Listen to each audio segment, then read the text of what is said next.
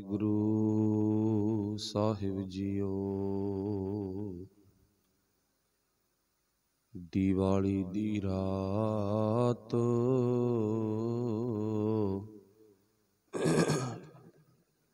ਦੀਵੇ ਬਾਲੀਆਂ ਤਾਰੇ ਜਾਤ ਸਨਾਤ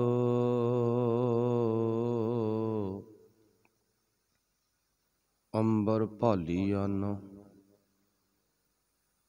ਫੁੱਲਾਂ ਦੀ ਬਗਾਤ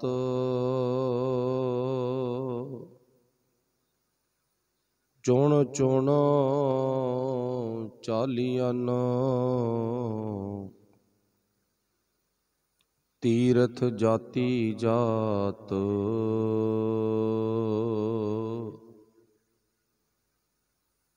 ਨੈਣ ਨਿਹਾਲੀਆਂ ਹਰ ਚੰਦਿਉਰੀ ਝਾਤ ਬਸਾਏ ਉਚਾਲੀਆਂ ਗੁਰਮੁਖ ਸੁਖ ਫਲ ਦਾਤ ਸ਼ਬਦ ਸੰਭਾਲੀਆਂ ਗੁਰਮੁਖ ਸੁਖ ਫਲ ਦਾਤ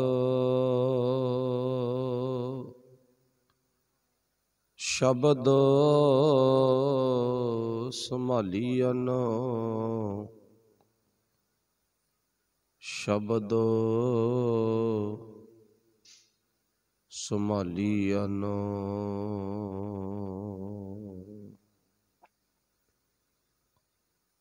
ਸ਼ਬਦ ਗੁਰੂ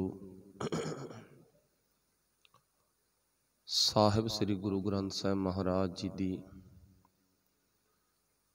ਬਖਸ਼ਿਸ਼, ਕਿਰਪਾ ਦੇ ਸਦਕਾ ਜੁੜ ਬੈਠੇ ਗੁਰੂ ਪਿਆਰਿਓ, ਆਓ। ਗੁਰਬਾਣੀ ਦੀ ਸਾਂਝ ਪਾਈਏ। ਮਾਲਕ ਬਖਸ਼ਿਸ਼ ਕਰੇ, ਜੋ ਪੜਿਆ ਸੁਣਿਆ ਸਾਡੇ ਜੀਵਨ ਦਾ ਹਿੱਸਾ ਬਣ ਜਾਵੇ। ਗੁਰਫਤਿਹ ਦੀ ਸਾਂਝ ਪਾਈਏ ਵਿਚਾਰਾਂ ਦੀ ਸ਼ੁਰੂਆਤ। ਸਭ ਨੇ ਬੋਲਣਾ ਜੀ ਆਖਿਓ, ਵਾਹਿਗੁਰੂ ਜੀ ਕਾ ਖਾਲਸਾ। ਵਾਹਿਗੁਰੂ ਜੀ ਕੀ ਫਤਿਹ। ਤੁਸੀਂ ਬੜੇ ਸਤਿਕਾਰਯੋਗ ਹੋ। ਹੀਰੇ ਮੋਤੀ ਚੁਗਣ ਦੇ ਲਈ ਰੋਜ਼ਾਨਾ ਮਾਨ ਸਰੋਵਰ ਸਾਹਿਬ ਸ੍ਰੀ ਗੁਰੂ ਗ੍ਰੰਥ ਸਾਹਿਬ ਮਹਾਰਾਜ ਜੀ ਦੀ ਬਾਣੀ ਦਾ ਨਿਗ ਮਾਣਦੇ ਹੋ। ਤੁਹਾਨੂੰ ਪਤਾ ਸਾਡੇ ਸਮਾਜ ਦੇ ਵਿੱਚ ਅਨਮਤੀ ਦਿਨ ਇੱਕ ਨਹੀਂ, ਬਹੁਤ ਜ਼ਿਆਦਾ ਪ੍ਰਚਲਿਤ ਨੇ, ਮਨਾਏ ਜਾਂਦੇ ਨੇ। ਪਰ ਜਦੋਂ ਆਪਾਂ ਗੁਰਮਤ ਦੀ ਰੌਸ਼ਨੀ ਵਿੱਚ ਵੇਖਦੇ ਹਾਂ, ਤਾਂ ਉਹਨਾਂ ਦਾ ਕੋਈ ਨਾ ਕੋਈ ਮਤਲਬ, ਕੋਈ ਕਾਰਨ, ਕੋਈ ਵਜ੍ਹਾ ਹੁੰਦੀ ਆ। ਜਿਨ੍ਹਾਂ ਨੇ ਗੁਰਮਤ ਦੀ ਰੌਸ਼ਨੀ ਵਿੱਚ ਵੇਖ ਲਿਆ, ਉਹ ਸਮਝ ਜਾਂਦੇ ਨੇ ਤੇ ਜ਼ਿੰਦਗੀ ਨੂੰ ਗੁਰੂ ਨਾਲ ਜੋੜ ਕੇ ਰੌਸ਼ਨ ਕਰ ਲੈਂਦੇ ਨੇ। ਤੇ ਜਿਨ੍ਹਾਂ ਨੇ ਉਸ ਚੀਜ਼ ਤੇ ਸਰਚ ਆਪਣੇ ਵੱਲੋਂ ਗੁਰਮਤ ਦੀ ਰੌਸ਼ਨੀ ਵਿੱਚ ਨਹੀਂ ਝਾਤ ਮਾਰੀ, ਤਾਂ ਉਹ ਵਿਚਾਰੇ ਪੀੜੀ ਦਰ ਪੀੜੀ ਭਟਕਦੇ ਰਹਿੰਦੇ ਨੇ। ਇਦਾਂ ਦਾ ਸਾਡੇ ਸਮਾਜ ਦਾ ਜਿਹੜਾ ਸੁਭਾਅ ਨਮੂਨਾ ਬਣਿਆ ਹੋਇਆ ਹੈਗਾ। ਦੀਵਾਲੀ ਦਾ ਦਿਨ ਹੈ। ਜਿਹਨੂੰ ਹਿੰਦੂ ਮਤ ਨਾਲ ਦੀਪਾਵਲੀ ਕਿਹਾ ਜਾਂਦਾ।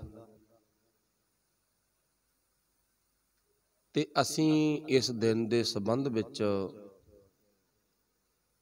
ਬੰਦੀ ਛੋੜ ਲਫ਼ਜ਼ ਵਰਤ ਲੈਂਦੇ ਹਾਂ। ਲਫ਼ਜ਼ ਦੋ ਨੇ ਜਾਂ ਦੀਵਾਲੀ, ਦੀਪਾਵਲੀ ਜਾਂ ਬੰਦੀ ਛੋੜ। ਆਪਾਂ ਇਸ ਵਿਸ਼ੇ ਤੇ ਅੱਜ ਵਿਚਾਰ ਕਰਨੀ ਆ। ਗੁਰੂ ਬਖਸ਼ਿਸ਼ ਕਰੇ। ਭਾਈ ਗੁਰਦਾਸ ਜੀ ਦੀ ਵਾਰ ਆਪਾਂ ਪੜ੍ਹੀ ਆ। ਦੀਵਾਲੀ ਦੀ ਰਾਤ ਦੀਵੇ ਬਾਲੀ ਹਨ। ਆਪਾਂ ਪਹਿਲਾਂ ਗੱਲ ਕੀਤੀ ਹੈ ਵੀ ਜੇ ਤਾਂ ਗੁਰਮਤ ਦੀ ਰੋਸ਼ਨੀ ਵਿੱਚ ਨਿਗਾਹ ਮਾਰ ਲਈ, ਫਿਰ ਤਾਂ ਜ਼ਿੰਦਗੀ ਸ਼ਵਾਸ਼ ਹੈ, ਵਧੀਆ ਹੈ। ਤੇ ਜੇ ਕੇਵਲ ਆਪਾਂ ਦੁਨੀਆ ਦੇ ਤਲ ਤੇ ਹੀ ਦੇਖਦੇ ਰਹੇ, ਫਿਰ ਆਪਾਂ ਨੂੰ ਪਤਾ ਸਹੀ ਤਰੀਕੇ ਦੇ ਨਾਲ ਅਸੀਂ ਅਰਥ ਗੱਲ ਦੇ ਨਹੀਂ ਕਰ ਪਾਉਂਦੇ। ਭੁਲੇਖੇ ਵਿੱਚ ਰਹਿ ਜਾਂਦੇ ਹਾਂ। ਭਲੇਖਾ ਕੱਢਣ ਦੇ ਲਈ ਗੁਰੂ ਸਾਹਿਬ ਨੇ ਸਾਨੂੰ ਗਿਆਨ ਦਾ ਦੀਵਾ ਦਿੱਤਾਗਾ ਤੇ ਉਸ ਗਿਆਨ ਦੇ ਦੀਵੇ ਨੂੰ ਅਸੀਂ ਆਪਣੇ ਅੰਦਰ ਬਾਲਣਾ ਹੈ। ਅੰਤਰ ਭਾਹੇ ਤਿਸੈ ਤੂੰ ਰੱਖ। ਅੰਤਰ ਭਾਹੇ ਤਿਸੈ ਤੂੰ ਰੱਖ। ਅਹਨਸ ਦੀਵਾ ਬਲੈ ਅਥਕ। ਦੁਨੀਆ ਦਾ ਵਾਲਿਆ ਦੀਵਾ ਟੁੱਟ ਜਾਂਦਾ, ਤੇਲ ਮੁੱਕ ਜਾਂਦਾ, ਬੱਤੀ ਮੱਚ ਜਾਂਦੀ ਆ, ਥੱਕ ਜਾਂਦਾ। ਪਰ ਪ੍ਰਮਾਤਮਾ ਨੇ ਦੀਵਾ ਸਭ ਦੇ ਅੰਦਰ ਵਾਲਿਆ, ਉਹ ਦੀਵਾ ਕਦੇ ਬੁਝਦਾ ਨਹੀਂ ਹੈ। ਜਿੰਨਾ ਟਾਈਮ ਵਾਹਿਗੁਰੂ ਜੀ ਨੇ ਉਸ ਦੀਵੇ ਦਾ ਸਮਾਂ ਨਿਯੁਕਤ ਕੀਤਾ, ਨਿਸ਼ਚਿਤ ਕੀਤਾ ਹੈ। ਸੋ ਇਸ ਕਰਕੇ ਆਪਾਂ ਸਾਰਿਆਂ ਨੇ ਕੋਸ਼ਿਸ਼ ਕਰਨੀ ਆ ਗੁਰਬਾਣੀ ਦੀ ਗੱਲ ਨੂੰ ਸਮਝਣ ਦੀ। ਭਾਈ ਗੁਰਦਾਸ ਜੀ ਨੇ ਵਿਚਾਰ ਦਿੱਤੀ ਹੈ, ਦੀਵਾਲੀ ਦੀ ਰਾਤ ਦੀਵੇ ਬਾਲੀ ਬਾਲੀਆਂ ਅਖਰੀ ਅਰਥ ਬਣ ਗਏ ਵੀ ਭਾਈ ਗੁਰਦਾਸ ਜੀ ਕਹਿੰਦੇ ਆ, ਦੀਵਾਲੀ ਵਾਲੇ ਦਿਨ ਜਾਂ ਰਾਤ ਨੂੰ ਤੂੰ ਦੀਵੇ ਲਾ। ਹੁਣ ਅਖਰੀ ਅਰਥ ਇਹੀ ਬਣ ਗਏ ਨਾ।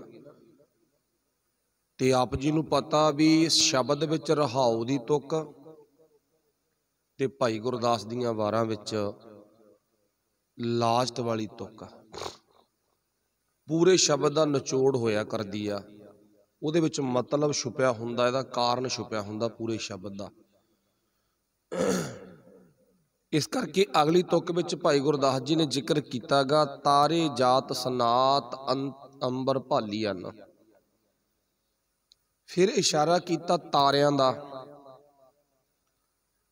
ਕਹਿੰਦੇ, ਰਾਤ ਨੂੰ ਟਿਮ ਟਮਾਉਂਦੇ ਤਾਰੇ ਨੇ। ਬੜੀ ਸੁਹਾਵਣੀ ਰਾਤ ਆ। ਕੱਲਾ ਕੱਲਾ ਤਾਰਾ ਬੜਾ ਸੋਹਣਾ ਲੱਗਦਾ, ਬੜਾ ਵਧੀਆ ਲੱਗਦਾ। ਪਰ ਅਕਸਰ ਜਦੋਂ ਸੂਰਜ ਪ੍ਰਕਾਸ਼ ਹੁੰਦਾ, ਉਦੈ ਹੁੰਦਾ, ਤਾਂ ਉਹ ਤਾਰਿਆਂ ਦੀ ਹੋਂਦ ਆ ਜਿਹੜੀ ਉਹ ਗਵਾਚ ਜਾਂਦੀ ਆ। ਤਾਰੇ ਗੁੰਮ ਹੋ ਜਾਂਦੇ ਆ। ਹੁਣ ਬਵਿੰਤੀ ਤਾਂ ਭਾਈ ਗੁਰਦਾਸ ਨੇ ਆ ਕੀਤੀ ਆ ਨਾ। ਦੀਵਾ ਬਾਲੇਗਾ, ਉਹ ਦੀਵਾ ਤੇਰਾ ਟੁੱਟ ਜੂ, ਹੰਬ ਜੂ, ਬੱਤੀ ਮੱਚ ਜੂ, ਤੇਲ ਬੰਦ ਹੋ ਜੂ, ਖਤਮ ਹੋ ਜੂ। ਪਰ ਉਹ ਦੀਵਿਆਂ ਦੀ ਰੋਸ਼ਨੀ ਕਿੰਨਾ ਕੁ ਟਾਈਮ? ਫੁੱਲਾਂ ਦੀ ਬਗਾਤ ਚੁਣ ਚੁਣ ਚਾਲੀ ਹਨ ਜ਼ਿਕਰ ਕੀਤਾ ਫੁੱਲਾਂ ਦੀ ਬਾੜੀ ਬਗਾਤ ਉਹਦੇ ਵਿੱਚ ਅਨੇਕਾਂ ਕਿਸਮਾਂ ਦੇ ਫੁੱਲ ਨੇ। ਪਰ ਸਮਾਂ ਪਾ ਕੇ ਫੁੱਲ ਵੀ ਖਤਮ ਹੋ ਜਾਂਦੇ ਨੇ ਥੋੜੇ ਟਾਈਮ ਦੇ ਲਈ। ਧਨ ਜੋਬਨ ਅਰ ਫੁੱਲੜਾ ਇਸ਼ਾਰਾ ਕੀਤਾ ਪਾਤਸ਼ਾਹ ਨੇ ਸਾਡੇ ਜੀਵਨ ਨਾਲ। ਮੇਲ ਕੇ ਗੱਲ ਨੂੰ ਵੀ ਧਨ ਜੋਬਨ ਅਰ ਫੁੱਲੜਾ ਨਾਠੀ ਅੜੇ ਦਿਨ ਚਾਰ ਜ਼ਿਕਰ ਕਰਤਾ। ਚੌਂ ਦਿਨਾਂ ਦਾ, ਪਰ ਫੁੱਲ ਚੌਂ ਦਿਨਾਂ ਤੋਂ ਪਹਿਲਾਂ ਪਹਿਲਾਂ ਖਤਮ ਹੋ ਜਾਂਦੇ ਨੇ। ਚਾਹੇ ਉਹ ਟੁੱਟ ਗਏ, ਕੋਈ ਤੋੜ ਕੇ ਲੈ ਗਿਆ ਤੇ ਚਾਹੇ ਆਮ ਆਪਣੀ ਮਾਲਕ ਵੱਲੋਂ ਦਿੱਤੀ ਹੋਈ ਖੁਸ਼ੀ ਨੂੰ ਮਾਣਦੇ ਹੋਏ ਛੱਡ ਕੇ ਚਲੇ ਗਏ। ਬੁੱਝ ਗਏ। ਫੁੱਲਾਂ ਦੀ ਬਾਗਾਤ ਚੁਣ ਚੁਣ ਚਾਲੀ ਅਨ, ਫਿਰ ਜ਼ਿਕਰ ਕੀਤਾ ਤੀਰਥ ਜਾਤੀ ਜਾਤ ਨੈਣ ਨਿਹਾਲੀ ਅਨ। ਫਿਰ ਭਾਈ ਗੁਰਦਾਸ ਜੀ ਨੇ ਗੱਲ ਕੀਤੀ ਹੈ, ਤੀਰਥ ਜਾਤੀ ਜਾਤੀ ਤੋਂ ਭਾਵ ਯਾਤਰੀ ਤੀਰਥ ਤੇ ਜਾਣ ਵਾਲਾ, ਮੇਲਿਆਂ ਵਿੱਚ ਜਾਣ ਵਾਲਾ, ਵੇਖਦੇ ਆ ਇੱਕ ਇੱਕ ਬੰਦਾ ਜੁੜ ਕੇ ਤੇ ਇੱਕ ਇੱਕ ਦੁਕਾਨ ਲਾ ਕੇ, ਬਨੌਟੀ ਫੁੱਲਾਂ ਦੀ ਬਰਸਾਤਾਂ ਕਰਕੇ, ਗਮਲਿਆਂ 'ਚ ਸਜਾ ਕੇ, ਬੜੀਆਂ ਰੌਣਕਾਂ ਲਾਈਆਂ ਜਾਂਦੀਆਂ ਨੇ। ਪਰ ਉਹ ਰੌਣਕ ਥੋੜ ਚਰੀ ਦੀ ਆ। ਥੋੜੇ ਟਾਈਮ ਲਈ ਆ।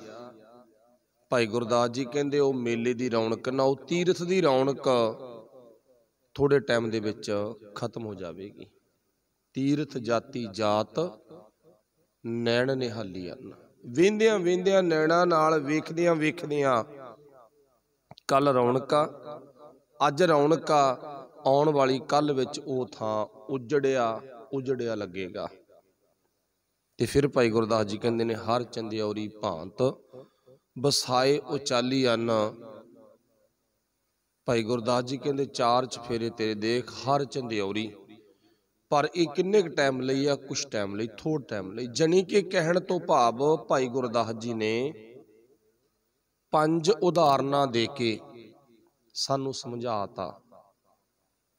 ਤੇ ਫਿਰ ਲਾਸਟ ਵਾਲੀ, ਜਿਹੜੀ ਪੂਰੇ ਸ਼ਬਦ ਦੀ ਨਿਚੋੜ ਵਾਲੀ ਤੋਕਾ ਉਹਦੇ ਵਿੱਚ ਕੀ ਕਿਹਾਗਾ? ਕਹਿੰਦੇ, ਗੁਰਮੁਖ ਸੁਖ ਫਲ ਦਾਤ ਸ਼ਬਦ ਸੰਭਾਲੀ ਹਨ। ਭਾਈ ਗੁਰਦਾਸ ਜੀ ਕਹਿੰਦੇ ਨਾ, ਅਸਲ ਦੇ ਵਿੱਚ ਸੁਖ ਨਾ ਤਾਂ ਦੀਵਾ ਬਾਲ ਕੇ ਮਿਲੇ। ਪਹਿਲੀ ਗੱਲ ਦੀਵੇ ਦੀ ਕੀਤੀ ਆ। ਨਾ ਕੋਈ ਤਾਰਿਆਂ ਆਦਿਕ ਬਲ ਨਿਗਾਹ ਮਾਰ ਕੇ ਉਹਨਾਂ ਦੀ ਪੂਜਾ ਕਰਕੇ ਮਿਲੇ। ਨਾ ਫੁੱਲਾਂ ਦੀ ਬਗਾਤ ਬਗੀਚੀ ਵਿੱਚ ਜਾ ਕੇ ਆਨੰਦ ਮਿਲੇ। ਮੰਨਿਆ ਜਾਂਦਾ ਵੀ ਵਾੜੀਆਂ ਦੇ ਵਿੱਚ, ਬਗੀਚੀਆਂ ਦੇ ਵਿੱਚ ਆਨੰਦ ਮਿਲਦਾ, ਸੁੱਖ ਮਿਲਦਾ, ਪਰ ਨਹੀਂ। ਨਾ ਤੀਰਥਾਂ ਤੇ ਨਾ ਹਰ ਚੰਦਿਉਰੀ ਜੀਵਨ ਜਿਉਂਗੇ। ਪਰ ਜੇ ਸੁੱਖ ਮਿਲੇਗਾ ਨਾ, ਤਾਂ ਉਹ ਸੁੱਖ ਪ੍ਰਾਪਤ ਕਰਨ ਦੀ ਜਗ੍ਹਾ ਇੱਕੋ ਹੀ ਆ ਸ਼ਬਦ ਨੂੰ ਆਪਣੀ ਹਿਰਦੇ ਰੂਪੀ ਤਜੌਰੀ ਵਿੱਚ ਟਿਕਾਉਣਾ ਤੇ ਉਹਦੇ ਮੁਤਾਬਕ ਜ਼ਿੰਦਗੀ ਜਿਉਣ ਨੂੰ ਗੁਰੂ ਪਾਤਸ਼ਾਹ ਜੀ ਸੁੱਖ ਕਹਿੰਦੇ ਨੇ, ਜੀਵਨ ਦਾ ਸਕੂਨ ਕਹਿੰਦੇ ਨੇ। ਇਉਂ ਮੰਨ ਲਓ ਸਾਡੇ ਫਿਰ ਬੰਧਨ ਕੱਟੇ ਗਏ। ਅਸੀਂ ਸੱਚਮੁੱਚ ਬੰਧਨਾਂ ਤੋਂ ਮੁਕਤ ਹੋ ਗਏ ਜੇ ਸ਼ਬਦ ਨੂੰ ਆਪਣੀ ਜ਼ਿੰਦਗੀ 'ਚ ਟਕਾ ਲਿਆ। ਤੇ ਜੇ ਚੱਕ ਕੇ ਦੀਵਾ ਤੁਰੇ ਫਿਰਦੇ ਰਹੇ ਤੇ ਫਿਰ ਸ਼ਾਇਦ ਅਸੀਂ ਅਸਲੀ ਸੁੱਖ ਸੁੱਖ ਤੱਕ ਨਹੀਂ ਪਹੁੰਚ ਸਕਾਂਗੇ। ਹੁਣ ਇੱਥੇ ਅੱਗੇ ਜਾ ਕੇ ਇੱਕ ਪ੍ਰਸ਼ਨ ਬਣ ਗਿਆ ਵੀ ਅਸਲ ਦੇ ਵਿੱਚ ਇਸ ਦਿਨ ਨੂੰ ਦੀਵਾਲੀ ਕਿਉਂ ਕਿਹਾ ਜਾਂਦਾ ਹੈਗਾ ਭਾਈ ਗੁਰਦਾਸ ਦੀ ਵਾਰ ਆਪਾਂ ਪੜ੍ਹ ਲਈ ਸੰਖੇਪ ਅਰਥ ਤੇ ਇਹਦੇ ਨਾਲ ਇੱਕ ਕਹਾਣੀ ਜੁੜੀ ਵੀ ਆ ਵੀ ਇਸ ਦਿਨ ਦਸ਼ਰਥ ਦਾ ਪੁੱਤ ਅਯੁੱਧਿਆ ਵਾਪਸ ਆਇਆ ਸੀ। ਰਾਮਚੰਦਰ ਤੇ ਲੋਕਾਂ ਨੇ ਦੀਵੇ ਵਾਲੇ ਉਹਦੀ ਖੁਸ਼ੀ 'ਚ, ਆਉਣ ਦੀ ਖੁਸ਼ੀ 'ਚ ਦੀਵੇ ਜਲਾਏ। ਫਿਰ ਸਿੱਧ ਕੀ ਹੁੰਦਾ ਵੀ ਇਹ ਇੱਕ ਪਰਿਵਾਰ ਦਾ ਮਸਲਾ ਸੀ। ਕੱਲੀ ਅਯੁੱਧਿਆ 'ਚ ਦੀਵਾ ਬਲ ਸਕਦਾ ਸੀ, ਕੱਲੇ ਘਰ 'ਚ ਦੀਵੇ ਬਲ ਸਕਦੇ ਸਨ। ਪਰ ਸਾਰੇ ਲੋਕਾਂ ਨੇ ਦੀਵੇ ਕਿਉਂ ਬਾਲੇ? ਜੇ ਰਾਜਾ ਰਾਮਚੰਦਰ ਆਪਣੇ ਘਰ ਵਾਪਸ ਹੁੰਦਾ, ਤਾਂ ਉਹਨਾਂ ਦੇ ਘਰ ਦਾ ਮਸਲਾ ਸੀ ਪੂਰੀ ਦੁਨੀਆ ਦੇ ਵਿੱਚ ਇਹ ਦੀਵਾ ਕਿਉਂ ਬਲਿਆ? ਦਰਅਸਲ ਇਹ ਕਹਾਣੀ ਸਾਡੇ ਸੰਸਾਰ ਦੇ ਵਿੱਚ ਦੀਵਾ ਲਾਉਣ ਵਾਲੀ ਇਉਂ ਕਹਿ ਲੋ ਵੀ ਪੁਜਾਰੀ ਨੇ ਜੋੜ ਦਿੱਤੀ। ਜੋੜਤੀ। ਮਤਲਬ ਤੁਸੀਂ ਹੈਰਾਨ ਹੋਵੋਗੇ ਵੀ ਪੂਰੇ ਆਲ ਇੰਡੀਆ ਦੇ ਵਿੱਚ ਜਾਂ ਪੂਰੇ ਦੇਸ਼ਾਂ ਦੇ ਵਿੱਚ ਸਭ ਥਾਈਂ ਇਹ ਦਿਨ ਮਨਾਇਆ ਜਾਂਦਾ, ਪਰ ਗੁਰਬਾਣੀ ਕੱਟ ਰਹੀ ਆ। ਪਰ ਇਹ ਗੱਲ ਆਪਾਂ ਤਾਂ ਸਾਂਝੀ ਕਰਦੇ ਹਾਂ ਵੀ ਤੁਸੀਂ ਸਮਝਣ ਵਾਲੇ ਹੋ, ਗੱਲ ਨੂੰ ਸਮਝ ਜਾਵੋਗੇ। ਦਰਅਸਲ ਕਹਾਣੀ ਕੀ ਸੀ? ਕਹਾਣੀ ਸੀ ਇਸ ਦਿਨ ਲੋਕਾਂ ਨੇ ਮਾਇਆ ਦੀ ਪੂਜਾ ਕੀਤੀ। ਅੱਗ ਦੀ ਪੂਜਾ ਕੀਤੀ, ਤਰ੍ਹਾਂ ਤਰ੍ਹਾਂ ਦੀ ਪੂਜਾ ਕੀਤੀ, ਕਰ ਵੀ ਰਹੇ ਆ ਕਿ ਕਿਉਂ? ਕਿਉਂਕਿ ਆਪਾਂ ਪਹਿਲਾਂ ਆਰੰਭਤਾ ਦੇ ਵਿੱਚ ਗੱਲ ਕੀਤੀ ਹੈ ਵੀ ਪੁਜਾਰੀ ਬੜਾ ਚਲਾਕ ਆ, ਉਹਨੇ ਸਭ ਆਪਣੇ ਹੱਥ ਵਿੱਚ ਲੈ ਲਏ ਕੰਮ। ਜਿਵੇਂ ਜਿਵੇਂ ਉਹ ਲੋਕਾਂ ਅੱਗੇ ਡੁਗਡੁਗੀ ਵਜਾਈ ਜਾਂਦਾ ਤੇ ਉਵੇਂ ਉਵੇਂ ਲੋਕ ਨੱਚੀ ਜਾਂਦੇ ਆ। ਅਸਲ ਵਿੱਚ ਇਹੀ ਕਹਾਣੀ ਬਣ ਗਈ ਨਾ। ਪਰ ਜੇ ਰਾਮਚੰਦਰ ਦੀ ਗੱਲ ਕਰੀਏ, ਉਹ ਇੱਕ ਪਰਿਵਾਰ ਦਾ, ਇੱਕ ਅਯੁੱਧਿਆ ਦਾ ਮਸਲਾ ਜਿਵੇਂ ਮਰਜ਼ੀ ਹੋਵੇ, ਉਹ ਉਹਨਾਂ ਦੇ ਘਰ ਦੀ ਗੱਲ ਸੀ, ਪਰ ਫਿਰ ਵੀ ਦੁਨੀਆ 'ਚ ਕਿਉਂ ਬਾਲੇ ਗਏ? ਪਰ ਸਾਡੇ ਸੰਸਾਰ ਦੇ ਵਿੱਚ ਇੱਕ ਰੀਤ ਆ ਵੀ ਪੂਜਾ ਨੂੰ ਅਸੀਂ ਬਹੁਤ ਜ਼ਿਆਦਾ ਮਾਨਤਾ ਦਿੰਨੇ ਆ, ਇਹ ਸਾਡੀ ਪਰੰਪਰਾ। ਪਰ ਗੁਰਮਤ ਦਾ ਮਿਸ਼ਨ ਨਹੀਂ ਹੈ, ਗੁਰਮਤ ਇਸ ਚੀਜ਼ ਤੋਂ ਸਾਨੂੰ ਵਰਜਦੀ ਆ, ਮਨਾ ਕਰਦੀ ਆ। ਫਿਰ ਦੂਸਰਾ ਦੀਵੇ ਲਾਉਣ ਦਾ ਕਾਰਨ ਆ ਜਿਹੜਾ ਪੁਰਾਤਨ ਸਰੋਤਾਂ ਦੇ ਅਨੁਸਾਰ ਇਹ ਵੀ ਮਿਲਦਾ ਵੀ ਇਸ ਦਿਨ ਇਉਂ ਮੰਨ ਲਓ ਗਰਮੀ ਦੇ ਦਿਨ ਲੰਘੇ ਆ, ਬਰਸਾਤਾਂ ਦੇ ਦਿਨ ਲੰਘੇ ਨੇ, ਲੋਕ ਬਾਹਰ ਵਿਹੜਿਆਂ ਦੇ ਵਿੱਚ ਸੌਂਦੇ ਨੇ। ਅੱਜ ਦੇ ਟਾਈਮ ਨਹੀਂ ਉਹਨਾਂ ਵਕਤਾਂ ਦੀ ਗੱਲ ਆ, ਜਦੋਂ ਸਾਡੇ ਮਕਾਨ ਕੱਚੇ ਸੀ। ਤੇ ਫਿਰ ਹੁੰਦਾ ਕੀ ਸੀ? ਇੱਕ ਰਾਤ ਲਈ ਜਾਂ ਦੋ ਰਾਤਾਂ ਲਈ ਕਹਿ ਲੋ ਲੋਕਾਂ ਨੇ ਦੀਵੇ ਬਾਲਣ ਦੀ ਰੀਤ ਬਣਾ ਲਈ ਘਿਓ ਦੇ, ਤੇਲ ਦੇ।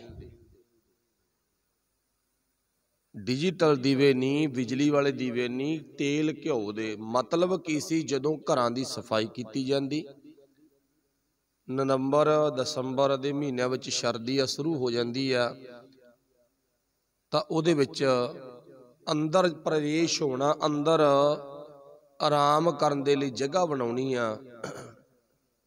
ਕੋਈ ਕਿਸੇ ਤਰ੍ਹਾਂ ਦਾ ਚੂਹਾ ਚਿੜਾ ਕੋਈ ਜਾਨਵਰ ਕੱਟ ਸਕਦਾ, ਸਫ਼ਾਈ ਹੋ ਗਈ। ਘਰ ਦੇ ਵਿੱਚੋਂ ਜਿਹੜੀ ਸਫ਼ਾਈ ਹੋਣ ਤੋਂ ਬਾਅਦ ਦੀਵਾ ਲਾ ਕੇ ਅੰਦਰ ਜਾਣ ਦੀ ਮਹੂਲਤ ਕੀਤੀ ਜਾਂਦੀ ਆ। ਮਤਲਬ ਦੀਵੇ ਨਾਲ ਖੁਸ਼ਬੂ ਪੈਦਾ ਹੋ ਗਈ। ਜੋ ਬਦਬੂ ਸੀ ਨਾ, ਉਹ ਖੁਸ਼ਬੂ ਚ ਤਬਦੀਲ ਹੋ ਗਈ। ਜਿਹੜਾ ਦੂਸਰਾ ਕਾਰਨ ਪੁਰਾਤਨ ਸਰੋਤਾਂ ਦੇ ਅਨੁਸਾਰ ਸਾਨੂੰ ਮਿਲਦਾਗਾ ਪਰ ਅਸਲ ਦੇ ਵਿੱਚ ਇਹ ਪਰੰਪਰਾ ਆਉਣ ਵਾਲੇ ਟਾਈਮ ਦੇ ਵਿੱਚ ਮਨਮਤ ਨਾਲ ਜੁੜ ਕੇ, ਪੂਜਾ ਨਾਲ ਜੁੜ ਕੇ ਰਹੇਗੀ ਬਸ। ਤੇ ਗੁਰੂ ਸਾਹਿਬ ਨੇ ਕਿਹਾ ਵੀ ਜਿਹੜਾ ਤੇਰਾ ਜੀਵਨ ਆ ਨਾ, ਇਹ ਜੀਵਨ ਗੁਰਮਤ ਨਾਲ ਜੁੜ ਕੇ, ਗੁਰਬਾਣੀ ਨਾਲ ਜੁੜ ਕੇ ਸੁੱਖ ਮਾਣ ਸਕਦਾ, ਐਵੇਂ ਨਹੀਂ ਮਾਣਦਾ। ਆਪਣੇ ਜੀਵਨ ਨੂੰ ਤੂੰ ਗੁਰੂ ਨਾਲ ਜੋੜ ਜਾਨੀ ਕਿ ਸ਼ਬਦ ਦੀ ਵਿਚਾਰ ਨਾਲ ਜੋੜਨ ਦਾ ਜ਼ਿਕਰ ਕੀਤਾ ਗੁਰੂ ਸਾਹਿਬ ਨੇ। ਤੇ ਅਗਲਾ ਜਿਹੜਾ ਸਵਾਲ ਆ, ਹੁਣ ਆਪਾਂ ਨਿੱਕੇ ਨਿੱਕੇ ਟੌਪਿਕ ਸਾਂਝੇ ਕਰਦੇ ਆ, ਬੰਦੀ ਛੋੜ। ਮੰਨਿਆ ਗਿਆ ਵੀ ਸਾਡੇ ਸਿੱਖਾਂ ਦਾ ਤਿਉਹਾਰ ਹੈ ਹੈ ਬਿਲਕੁਲ ਸੱਚਾ ਕੋਈ ਝੂਠ ਨਹੀਂ। ਪਰ ਜੇ ਆਪਾਂ ਵੇਖੀਏ ਵੀ ਗਵਾਲੀਅਰ ਦੇ ਕੈਦ ਵਿੱਚੋਂ ਛੇਵੇਂ ਪਾਤਸ਼ਾਹ ਨੇ 51 52 ਰਾਜਿਆਂ ਨੂੰ ਰਿਹਾ ਕਰਵਾਇਆ ਤੇ ਉਹਨਾਂ ਦੀ ਆਉਣ ਦੀ ਖੁਸ਼ੀ ਵਿੱਚ ਦਰਬਾਰ ਸਾਹਿਬ ਦੀਵੇ ਬਾਲੇ ਗਏ। ਇਉਂ ਮੰਨ ਲਓ ਵੀ ਹਰ ਥਾਂ ਹੀ ਦੀਵੇ ਬਾਲੇ ਗਏ। ਫਿਰ ਇਹ ਰਾਮਚੰਦਰ ਵੀ ਇਸੇ ਦਿਨ ਆਇਆ ਤੇ ਛੇਵੇਂ ਪਾਤਸ਼ਾਹ ਵੀ ਇਸੇ ਦਿਨ ਆਏ। ਇਹ ਆਪਸ ਵਿੱਚ ਦਿਨ ਮਿਲ ਕਿਵੇਂ ਗਏ? ਆਪਸ ਵਿੱਚ ਮਿਲੇ ਕਿਵੇਂ ਆ? ਇਹ ਸੋਚਣ ਵਾਲੀ ਗੱਲ ਆ ਗਈ। ਪਰ ਨਹੀਂ। ਗੁਰੂ ਪਾਤਸ਼ਾਹ ਬੰਦੀ ਛੋੜ ਹਨ ਤੇ ਰਹਿਣਗੇ। ਪਰ ਦਰਅਸਲ ਕਹਾਣੀ ਕੀ ਆ? ਜੇ ਗਵਾਲੀਅਰ ਕੈਦ ਵਿੱਚੋਂ ਗੁਰੂ ਸਾਹਿਬ ਕਿੰਨੇ ਰਾਜਿਆਂ ਨੂੰ ਛਡਵਾਉਂਦੇ ਨੇ, ਤਾਂ ਉਹਨਾਂ ਨੂੰ ਇੱਕ ਨਾਮ ਨਾਲ ਯਾਦ ਕੀਤਾ ਜਾ ਸਕਦਾ, ਜਿਹਨੂੰ ਆਪਾਂ ਗਵਾਲੀਅਰ ਕਿਹਾ ਨਾ ਵੀ ਗਵਾਲੀਅਰ ਛੋੜ।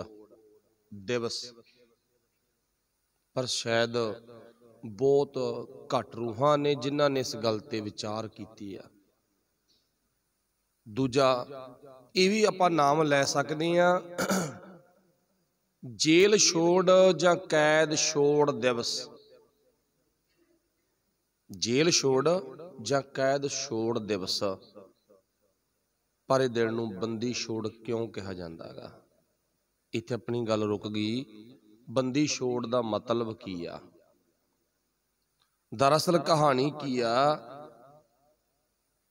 ਵੀ ਜਿਹੜਾ ਸਾਡਾ ਦਿਮਾਗ ਕਹਿ ਲੋ ਸਾਡੀ ਸੋਚ ਆ, ਵਿਚਾਰ ਆ, ਉਹ ਗੁਰੂ ਦੇ ਅਸਲ ਸੁਨੇਹੇ ਤੱਕ ਨਹੀਂ ਪਹੁੰਚਦੀ। ਉਹ ਵੈਗੁਰੂ ਨੂੰ ਪਤਾ ਜਾਂ ਸਾਨੂੰ ਪਤਾ ਵੀ ਅਸਲ ਸੁਨੇਹੇ ਤੱਕ ਕਿਉਂ ਨਹੀਂ ਅਸੀਂ ਪਹੁੰਚਦੇ। ਉਹ ਮਾਲਕ ਨੂੰ ਪਤਾ ਹੈਗਾ ਪਰ ਜੇ ਛੇਵੇਂ ਪਾਤਸ਼ਾਹ ਦੀ ਜੀਵਨ ਨਾਲ ਇਹ ਸੰਬੰਧਤ ਇਤਿਹਾਸ ਆ ਨਾ, ਤਾਂ ਫਿਰ ਪਿਆਰ ਵਾਲਿਓ ਚੇਤਾ ਰੱਖਿਓ, ਤੁਸੀਂ ਕਿੰਨੇ ਸਿਆਣੇ ਹੋ। ਗੁਰੂ ਨਾਨਕ ਸਾਹਿਬ ਨਾ ਏਮਨਾਬਾਦ ਦੀ ਧਰਤੀ ਤੇ ਦੋ ਵਾਰੀ ਗਏ। ਦੋਨੇ ਵਾਰੀ ਰਹਿائش ਲਾਲੋ ਜੀ ਦੇ ਘਰ ਕੀਤੀ। ਗੁਰੂ ਨਾਨਕ ਸਾਹਿਬ ਦਾ ਟਿਕਾਣਾ ਨਾ ਲਾਲੋ ਜੀ ਦੇ ਘਰ ਸੀ। ਤੇ ਪਹਿਲੀ ਵਾਰ ਆਪਾਂ ਨੂੰ ਪਤਾ, ਛੋਟਾ ਜਿਹਾ ਕਰਮਚਾਰੀ ਆ, ਮਲਕ ਭਾਗੋ, ਉਹਨੂੰ ਸੁਧਾਰਿਆ, ਉਹਦੇ ਨਾਲ ਅਨੇਕਾਂ ਨੂੰ ਸੁਧਾਰਿਆ। ਜਾਨੀ ਕਿ ਕਹਿਣ ਤੋਂ ਭਾਵ ਬਾਬੇ ਨਾਨਕ ਨੇ ਮਲਕ ਭਾਗੋ ਨੂੰ ਬੰਧਨਾਂ ਦੇ ਵਿੱਚੋਂ ਕੱਢਿਆ। ਤੇ ਦੂਜੀ ਵਾਰ ਉਹ ਵੀ ਤੁਹਾਨੂੰ ਪਤਾ, ਬਾਬਰ ਦੇ ਨਾਲ ਗੁਰੂ ਨਾਨਕ ਸਾਹਿਬ ਨੇ ਬਹਿਸ ਕੀਤੀ। ਬਾਬਰ ਦੇ ਨਾਲ ਬਹਿਸ ਕੀਤੀ ਹੈ ਨਾ, ਹੁਣ ਤੁਸੀਂ ਧਿਆਨ ਮਾਰ ਕੇ ਵੇਖਿਓ ਵੀ ਜੇ ਆਪਾਂ ਕਹਿੰਨੇ ਆ ਵੀ ਗੁਰੂ ਨਾਨਕ ਸਾਹਿਬ ਦੀ ਛੇਵੀਂ ਜੋਤ ਧੰਨ ਗੁਰੂ ਹਰਗੋਬਿੰਦ ਸਾਹਿਬ ਮਹਾਰਾਜ ਬੰਦੀ ਛੋੜ ਨੇ, ਪਰ ਸੋਚ ਕੇ ਵੇਖਿਓ ਪਿਆਰ ਵਾਲਿਓ, ਜਿੱਥੇ ਗੁਰੂ ਨਾਨਕ ਸਾਹਿਬ ਦਾ ਸੇਵਾ ਰੂਪ ਬੰਦੀ ਛੋੜਾ ਤੇ ਫਿਰ ਗੁਰੂ ਨਾਨਕ ਸਾਹਿਬ ਨੂੰ ਅਸੀਂ ਕਿਉਂ ਨਹੀਂ ਕਹਿੰਦੇਗੇ? ਕਿਉਂਕਿ ਗੁਰੂ ਨਾਨਕ ਸਾਹਿਬ ਨੇ ਵੀ ਬਾਬਰ ਦੀ ਕੈਦ ਵਿੱਚੋਂ ਅਨੇਕਾਂ ਲੋਕਾਂ ਨੂੰ ਰਿਹਾ ਕਰਵਾਇਆ ਸੀ। ਬਸ ਇੱਥੇ ਆ ਕੇ ਗੁਰਮਤ ਦੀ ਗੱਲ ਸਾਨੂੰ ਚੰਗੀ ਲੱਗਣੋਂ ਹਟ ਜਾਂਦੀ ਆ। ਕਿਉਂਕਿ ਸਾਡੇ ਦਿਮਾਗ ਵਿੱਚ ਨਾ, ਸਾਡੀ ਸੋਚ ਵਿੱਚ, ਸਾਡੀ ਬੁੱਧੀ ਦੇ ਵਿੱਚ ਕੇਵਲ ਤੇ ਕੇਵਲ ਕੀ ਹੈ? ਇਹ ਪੱਖ ਪੱਖਾਗਾ ਵੀ ਸਾਨੂੰ ਰੋਚਕ ਜੀ ਗੱਲ ਵਧੀਆ ਲੱਗਦੀ ਆ। ਜਿਹਨੂੰ ਆਪਾਂ ਕਹਿ ਦਈਏ ਸਾਖੀ ਟੈਪ ਗੁਰੂ ਨਾਨਕ ਸਾਹਿਬ ਨੇ ਏਮਨਾਬਾਦ ਦੀ ਧਰਤੀ ਤੇ ਬਾਬਰ ਵੱਲੋਂ ਕੀਤਾ ਜਾ ਰਿਹਾ ਧੱਕਾ। ਕਿਸ ਤਰ੍ਹਾਂ ਦਾ ਧੱਕਾ ਸੀ? ਆਪਾਂ ਨੂੰ ਪਤਾ ਨਾ ਵੀ ਉੱਥੋਂ ਦੇ ਲੋਕ ਨੇ ਜਿਹੜੇ, ਉਹ ਬੇਕਾਰ ਹੋ ਚੁੱਕੇ ਸੀ, ਗਰਕ ਚੁੱਕੇ ਸੀ। ਤੇ ਬਾਬਰ ਨੇ ਸਾਰਿਆਂ ਤੇ ਬਹੁਤ ਵੱਡਾ ਕਹਿਰ ਢਾਇਆ, ਜ਼ੁਲਮ ਢਾਇਆ। ਜਿਹੜੇ ਲੋਕ ਉਹਦੇ ਵਿੱਚੋਂ ਬਚ ਗਏ। ਬਹੁਤੇ ਮਾਰੇ ਗਏ ਨਾ। ਤੇ ਉੱਥੋਂ ਦੇ ਲੋਕਾਂ ਨੇ ਪ੍ਰਬੰਧ ਕੀਤਾ ਸੀ, ਕਹਿੰਦੇ ਬਾਬਰ ਦੀਆਂ ਤੋਪਾਂ ਦਾ ਮੁਕਾਬਲਾ ਅਸੀਂ ਮੰਤਰਾਂ ਦੇ ਨਾਲ ਕਰਾਂਗੇ। ਪਰ ਕੋਈ ਵੀ ਆਪਾਂ ਨੂੰ ਪਤਾ, ਮੰਤਰਾਂ ਦੇ ਨਾਲ ਬਾਦਲ ਦਾ ਆਪਣਾ ਬਾਬਰ ਦਾ ਸਿਪਾਹੀ ਨਹੀਂ ਮਰਿਆ। ਕੋਈ ਮੁਗਲ ਨਾ। ਹੋਆ ਅੰਧਾ ਕਿਨੇ ਨਾ ਪਰਚਾ ਲਾਇਆ? ਕੋਈ ਅੰਨਾ ਨਹੀਂ ਹੋਇਆ, ਕਿਸੇ ਦਾ ਕੋਈ ਨੁਕਸਾਨ ਨਹੀਂ ਹੋਇਆ, ਪਰ ਬਾਬਰ ਦੇ ਸਿਪਾਹੀਆਂ ਨੇ ਪੂਰੀ ਏਮਨਾਬਾਦ ਨੂੰ ਉਜਾੜ ਕੇ ਰੱਖਤਾ। ਜਿਹੜੇ ਮੌਤ ਦੇ ਘਾਟ ਉਤਰਨ ਤੋਂ ਬਚ ਗਏ, ਉਹਨਾਂ ਨੂੰ ਬੰਦੀ ਬਣਾ ਲਿਆ ਤੇ ਬੰਦੀ ਬਣਾ ਕੇ ਆਪਾਂ ਨੂੰ ਪਤਾ ਰਾਵੀ ਦੇ ਕਿਨਾਰੇ ਇੱਕ ਆਵਾਨ ਪਿੰਡ ਆ ਤੇ ਉੱਥੇ ਲਿਆ ਕੇ ਉਹਨਾਂ ਨੂੰ ਕੈਦਖਾਨੇ ਵਿੱਚ ਬੰਦ ਕਰਤਾ। ਤੇ ਧੰਨ ਸ੍ਰੀ ਗੁਰੂ ਨਾਨਕ ਦੇਵ ਮਹਾਰਾਜ, ਉਸ ਆਵਾਨ ਪਿੰਡ ਦੇ ਵਿੱਚ ਪਹੁੰਚਦੇ ਨੇ, ਲੋਕ ਧਾਹਾਂ ਮਾਰ ਰਹੇ ਨੇ, ਰੋ ਰਹੇ ਨੇ ਪਿੱਟ ਸਿਆਪਾ ਕਰ ਰਹੇ ਨੇ। ਸਭ ਨੂੰ ਚੱਕੀਆਂ ਦਿੱਤੀਆਂ ਹੋਈਆਂ ਨੇ, ਪੀਹਣ ਵਾਸਤੇ ਦਾਣੇ ਦਿੱਤੇ ਹੋਏ ਨੇ, ਪੀਹੋ। ਸਜ਼ਾ ਦਿੱਤੀ ਹੋਈ ਹੈ ਨਾ। ਹੁਣ ਇਤਿਹਾਸ ਵਿੱਚੋਂ ਇਹ ਵੀ ਮਿਲਦਾ ਕਿ ਜਦੋਂ ਬਾਬਾ ਨਾਨਕ ਉਹ ਬੰਦੀ ਬਣਾਏ, ਲੋਕਾਂ ਦੇ ਵਿੱਚ ਚਲੇ ਗਏ, ਤਾਂ ਚੱਕੀਆਂ ਆਪਣੇ ਆਪ ਚੱਲ ਪਈਆਂ। ਆਪਣੇ ਆਪ ਚੱਲ ਪਈਆਂ ਚੱਕੀਆਂ। ਤੇ ਗੁਰੂ ਨਾਨਕ ਸਾਹਿਬ ਦਾ ਐਸਾ ਮਾਹੌਲ ਵੇਖ ਕੇ ਬਾਬਰ ਨੂੰ ਛੱਡਣਾ ਪਿਆ। ਦੇਖੋ ਇਹ ਵੀ ਆਪਾਂ ਨੂੰ ਪਤਾ ਵੀ ਗੁਰੂ ਨਾਨਕ ਸਾਹਿਬ ਕਰ ਸਭ ਕੁਝ ਸਕਦੇ ਨੇ। ਪੂਰੇ ਵਰਲਡ ਦੇ, ਪੂਰੀ ਦੁਨੀਆ ਦੇ ਉਹ ਗੁਰੂ ਨੇ ਕੋਈ ਇਕੱਲੇ ਸਿੱਖਾਂ ਦੇ ਗੁਰੂ ਨਹੀਂ ਹਨ। ਗੁਰੂ ਗ੍ਰੰਥ ਸਾਹਿਬ ਸਰਵ ਸਾਂਝਾ ਗ੍ਰੰਥ ਆ ਨਾ ਇਵੇਂ ਜਿਵੇਂ ਧੰਨ ਸ੍ਰੀ ਗੁਰੂ ਨਾਨਕ ਦੇਵ ਮਹਾਰਾਜ ਸਭ ਦੇ ਸਾਂਝੇ ਗੁਰੂ ਨੇ। ਪਰ ਜਦੋਂ ਗੁਰੂ ਨਾਨਕ ਸਾਹਿਬ ਉੱਥੇ ਗਏ ਤਾਂ ਉਹ ਚੱਕੀਆਂ ਆਪੇ ਚੱਲਣ ਦਾ। ਕਾਰਨ ਕੀ ਆ? ਮਤਲਬ ਕੀ ਆ? ਚੱਕੀ ਕਿਵੇਂ ਚੱਲੀ ਆ? ਕਿਉਂਕਿ ਉੱਥੋਂ ਦੇ ਲੋਕ ਬੜੇ ਦੁਖੀ ਸੀ। ਆਪਾਂ ਹੁਣੇ ਬੇਨਤੀ ਕੀਤੀ ਆ, ਬਾਹਰੀ ਤੌਰ ਤੇ ਦੀਵਾ ਭਾਵੇਂ ਘਿਓ ਦਾ ਬਾਲ ਦੋ, ਭਾਵੇਂ ਤੇਲ ਦਾ ਬਾਲ ਦੋ, ਭਾਵੇਂ ਕੋਈ ਜੋਤ, ਧੂਪ, ਜਿਹੜੀ ਮਰਜ਼ੀ ਲਾਓ, ਦੀਵਾਲੀ ਵਾਲੇ ਦਿਨ ਲਾਓ ਪਰ ਸਚਾਈ ਆ ਸੁੱਖ ਨਹੀਂ ਮਿਲੂਗਾ। ਕੰਮ ਸੁੱਖ ਲਈ ਕੀਤਾ ਗਿਆ। ਮਾਇਆ ਦੀ ਪੂਜਾ ਸੁੱਖ ਲਈ ਕੀਤੀ ਗਈ ਆ। ਕਿੰਨਾ ਵਾਧੂ ਦਾ ਫੋਕਟ ਖਰਚਾ ਕੀਤਾ ਗਿਆ। ਬਾਹਰੀ ਤੌਰ ਤੇ ਡਿਜੀਟਲ ਦੀਪਮਾਲਾ ਲਾਈ ਗਈ ਆ। ਸਾਰੀ ਆਪਾਂ ਕਰਦੇ ਆ ਨਾ, ਤਾਹਾਂ ਤੋਂ ਲੈ ਕੇ ਹੇਠਾਂ ਤੱਕ ਨਿਗਾਹ ਮਾਰ ਕੇ ਦੇਖ ਸਕਦੇ ਆ। ਪਰ ਇਹ ਸੱਚੀ ਗੱਲ ਗੁਰੂ ਨਾਨਕ ਸਾਹਿਬ ਦੀ ਸਾਨੂੰ ਹਜਮ ਨਹੀਂ ਆਉਂਦੀ। ਬਸ ਗੱਲ ਇੱਥੇ ਰੁਕ ਗਈ। ਸਾਡਾ ਜੀਵਨ ਇੱਕ ਰੀਤ ਨਾਲ, ਇੱਕ ਪਰੰਪਰਾ ਨਾਲ ਜੁੜ ਗਿਆ। ਆਪਣਾ ਪ੍ਰਸ਼ਨ ਸੀ ਵੀ ਜੇ ਗੁਰੂ ਹਰਗੋਬਿੰਦ ਸਾਹਿਬ ਮਹਾਰਾਜ ਬੰਦੀ ਛੋੜ ਨੇ ਗਵਾਲੀਅਰ ਦੇ ਕਿਲੇ ਵਿੱਚੋਂ 51 52 ਰਾਜਿਆਂ ਨੂੰ ਲੈ ਕੇ ਆਏ ਨੇ ਛੜਵਾ ਕੇ, ਫਿਰ ਗੁਰੂ ਨਾਨਕ ਸਾਹਿਬ ਨੂੰ ਕਿਉਂ ਨਹੀਂ ਕਹਿੰਦੇ ਬੰਦੀ ਛੋੜ? ਇੱਕ ਇੱਥੇ ਪ੍ਰਸ਼ਨ ਰੁਕ ਗਿਆ। ਪਰ ਇਹ ਪ੍ਰਸ਼ਨ 100 ਵਿੱਚੋਂ ਇੱਕ ਦੇ ਹਿੱਸੇ ਆ। 100 ਵਿੱਚੋਂ ਮਾਫ ਕਰਨਾ ਆਪਾਂ ਪੰਜ ਦੇ ਹਿੱਸੇ ਵੀ ਨਹੀਂ ਕਹਿ ਸਕਦੇਗੇ। ਪੰਜ ਦੀ ਗਿਣਤੀ ਵੀ ਸ਼ਾਇਦ ਜ਼ਿਆਦਾ। 99 ਲੋਕ ਇੱਕ ਬੰਨੇ ਆ ਤੇ ਇੱਕ ਇੱਕ ਬੰਨੇ ਆ। ਪਰ ਆਪਾਂ ਇਹ ਵਿਚਾਰ ਕਿਉਂ ਕਰ ਰਹੇ ਆ? ਕਿਉਂਕਿ ਤੁਸੀਂ ਸਿਆਣੇ ਹੋ ਤਾਂ। ਹਰੇਕ ਥਾਈ ਨਹੀਂ ਇਹ ਵਿਚਾਰ ਚੱਲਣੀ। ਤੇ ਗੁਰੂ ਨਾਨਕ ਸਾਹਿਬ ਜਦੋਂ ਆਵਾਨ ਪਿੰਡ ਦੇ ਵਿੱਚ ਗਏ, ਕੈਦੀ ਜਿਹੜੇ ਬਾਬਰ ਦੇ ਫੜੇ ਹੋਏ ਨੇ ਉਹਨਾਂ ਕੈਦੀਆਂ ਦੇ ਵਿੱਚ ਜਾ ਕੇ ਬੈਠੇ, ਲੋਕਾਂ ਦੇ ਵਿੱਚ ਜਾ ਕੇ ਬੈਠੇ। ਤੇ ਉਹ ਲੋਕ ਦੁਖੀ ਸੀ ਕੁਝ ਤਾਂ ਉਹਨਾਂ ਦੇ ਪਰਿਵਾਰ ਮਾਰੇ ਗਏ। ਤੇ ਕੁਝ ਉਹਨਾਂ ਨੂੰ ਬੰਦੀ ਬਣਾ ਕੇ ਕੈਦਖਾਨੇ ਵਿੱਚ ਬੰਦ ਕਰ ਦਿੱਤਾ ਗਿਆ। ਪੀਣ ਦੇ ਲਈ ਦਾਣੇ ਦਿੱਤੇ ਗਏ ਪੀਹੋ। ਪਰ ਸੱਚੇ ਪਾਤਸ਼ਾਹ ਨੇ ਸ਼ਬਦ ਦਾ ਐਸਾ ਇੱਕ ਗੀਤ ਗਾਇਆ, ਅਲਾਪਿਆ ਜਿੰਨੇ ਬਾਵਰ ਦੇ ਫੜੇ ਹੋਏ ਕੈਦੀ ਨੇ, ਲੋਕ ਨੇ, ਸਾਰੇ ਉਹ ਸ਼ਬਦ ਸੁਣ ਕੇ ਨਾ ਝੂਮਣ ਲੱਗੇ, ਜਿਹਨੂੰ ਆਪਾਂ ਕਹਿ ਦਈਏ, ਉਹਨਾਂ ਨੂੰ ਪਤਾ ਹੀ ਨਹੀਂ ਲੱਗਿਆਗਾ ਵੀ ਜਿੰਨਾ ਕੁ ਕੰਮ ਬਾਬਰ ਨੇ ਦਿੱਤਾਗਾ, ਸ਼ਬਦ ਨੂੰ ਸੁਣਦਿਆਂ ਸੁਣਦਿਆਂ ਆਪੇ ਕੰਮ ਹੋ ਗਿਆ। ਕਈ ਵਾਰ ਨਾ ਆਪਾਂ ਸਫ਼ਰ ਵਿੱਚ ਜਾਂਦੇ ਹੋਈਏ, ਕੋਈ ਗੱਲ ਸੁਣਨ ਲੱਗ ਜਗੇ ਕੋਈ ਗੱਲ ਤੋਰ ਲਗੇ 2-4 ਘੰਟਿਆਂ ਦਾ ਸਫ਼ਰ ਆ ਜਿਹੜਾ, ਉਹ ਮਿੰਟਾਂ ਵਿੱਚ ਵੀ ਲੰਘ ਜਾਂਦਾ, ਫਿਰ ਕਹਿੰਨੇ ਕੀ ਹੁੰਨੇ ਆਗੇ? ਲੈ ਪਤਾ ਹੀ ਨਹੀਂ ਲੱਗਿਆ ਕਦੋਂ ਪਹੁੰਚ ਗਏ। ਹੁਣ ਉਹ ਚੱਕੀਆਂ ਆਪੇ ਚੱਲਣ ਦਾ ਮਤਲਬ ਕੀ ਸੀ? ਪਹਿਲਾਂ ਦੁਖੀ ਸੀ, ਧਿਆਨ ਨਹੀਂ ਸੀ ਲੱਗ ਰਿਹਾ। ਧਿਆਨ ਉਹਨਾਂ ਦਾ ਗੁਰਬਾਬੇ ਦੀ ਬਾਣੀ ਵਿੱਚ ਟਿਕ ਗਿਆ ਤੇ ਚੱਕੀਆਂ ਫਟਾਫਟ ਚੱਲ ਰਹੀਆਂ ਨੇ, ਦਾਣੇ ਨਿਬੜ ਗਏ, ਸਾਰੀ ਖਬਰ ਬਾਬਰ ਨੂੰ ਮਿਲ ਗਈ। ਕੋਈ ਰੱਬ ਦਾ ਪਿਆਰਾ ਆਇਆ, ਸ਼ਬਦ ਗਾ ਰਿਹਾਗਾ।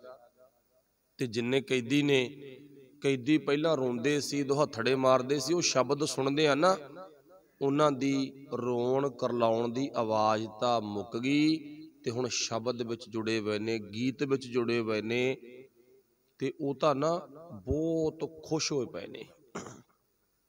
ਫਿਰ ਬਾਬਰ ਪਹੁੰਚਿਆ ਸੀ ਨਾ, ਬਾਬਰ ਨੇ ਮੁਲਾਕਾਤ ਕੀਤੀ, ਬਾਬਰ ਨੂੰ ਗੁਰੂ ਨਾਨਕ ਸਾਹਿਬ ਨੇ ਇੱਥੇ ਕਿਹਾ ਸੀ, ਤੂੰ ਜਾਬਰ ਆ।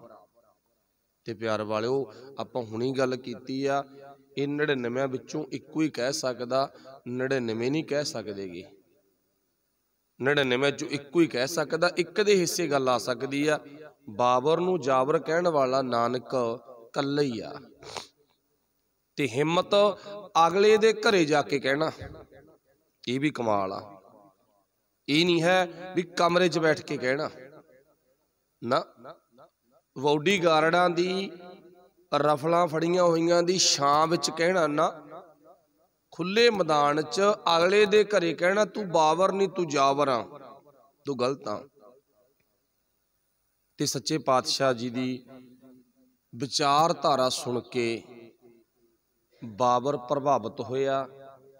ਤੇ ਸਾਰੇ ਏਮਨਾਬਾਦ ਦੇ ਲੋਕਾਂ ਨੂੰ ਗੁਰੂ ਨਾਨਕ ਸਾਹਿਬ ਦੇ ਸਮੇਤ ਕੈਦਖਾਨੇ ਵਿੱਚੋਂ ਛੱਡਤਾ।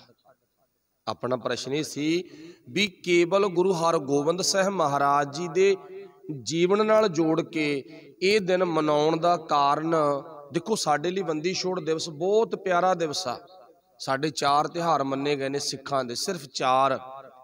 ਬੰਦੀ ਛੋੜ ਵਿਸਾਖੀ, ਖਾਲਸੇ ਦਾ ਜਨਮ ਦਿਹਾੜਾ ਗੁਰੂਆਂ ਦੇ ਪ੍ਰਕਾਸ਼ ਦਿਹਾੜੇ ਤੇ ਸ਼ਹਾਦਤ ਸ਼ਹੀਦੀ ਦਿਹਾੜੇ ਬਾਕੀ ਹੋਰ ਸਾਡਾ ਕਿਸੇ ਨਾਲ ਕੋਈ ਦੇਣ ਲੈਣ ਨਹੀਂ ਹੈ। ਉਹਨਾਂ ਵਿੱਚੋਂ ਬੰਦੀ ਛੋੜ ਵੀ ਆਉਂਦਾ। ਪਰ ਗੱਲ ਬੰਦੀ ਛੋੜ ਦੀ ਆ, ਗੱਲ ਗਵਾਲੀਅਰ ਛੋੜ ਜਾਂ ਕੈਦ ਛੋੜ, ਜੇਲ੍ਹ ਛੋੜ ਦੀ ਗੱਲ ਨਹੀਂ ਹੈ। ਦੇਖੋ, ਆਪਾਂ ਸ਼ਬਦ ਦੇ ਗਹਿਰੇ ਤਲ ਤੱਕ ਪਹੁੰਚਣਾ ਹੁੰਦਾਗਾ ਵੀ ਬੰਦੀ ਛੋੜ ਕਹਿੰਨੇ ਆਪਾਂ ਤੇ ਬੰਦੀ ਦਾ ਅਰਥ ਬੰਧਨ ਤੇ ਅੱਜ ਸਾਰੀ ਬੰਧਨਾਂ 'ਚ ਫਸੇ ਹੋਏ ਨੇ, ਦੱਸੋ ਭਲਾ ਕੌਣ ਬੰਧਨਾਂ ਤੋਂ ਨਿਕਲਿਆ ਹੋਇਆਗਾ ਅੱਜ ਸਾਰੇ ਜੇਲ੍ਹ 'ਚ ਫਸੇ ਹੋਏ ਆ ਆਪਾਂ। ਨਿਗਾਹ ਮਾਰ ਕੇ ਵੇਖੋ। ਇਹ ਕੱਲੀ ਗਵਾਲੀਅਰ ਜੇਲ੍ਹ ਦੀ ਜੇਲ੍ਹ ਦੀ ਗੱਲ ਨਹੀਂ ਹੈ, ਉਹਦੀ ਕਥਾ ਨਹੀਂ। ਕੱਲੀ ਬਾਬਰ ਦੀ, ਕੈਦ ਦੀ ਕਥਾ ਨਹੀਂ ਹੈ। ਆਪਾਂ ਸਾਰੇ ਬਾਬਾ ਨਾਨਕ ਕਹਿੰਦਾ ਜੇਲ੍ਹ 'ਚ ਫਸੇ ਹੋਏ ਹੋ, ਪਰ ਉਹ ਜੇਲ੍ਹ ਦੇ ਵਿੱਚੋਂ, ਬੰਧਨ ਦੇ ਵਿੱਚੋਂ ਖਿਹੜਾ ਛਡਵਾਉਣ ਦੇ ਲਈ ਵਿਚਾਰ ਦੀ ਲੋੜ ਆ, ਸ਼ਬਦ ਦੀ ਲੋੜ ਆ।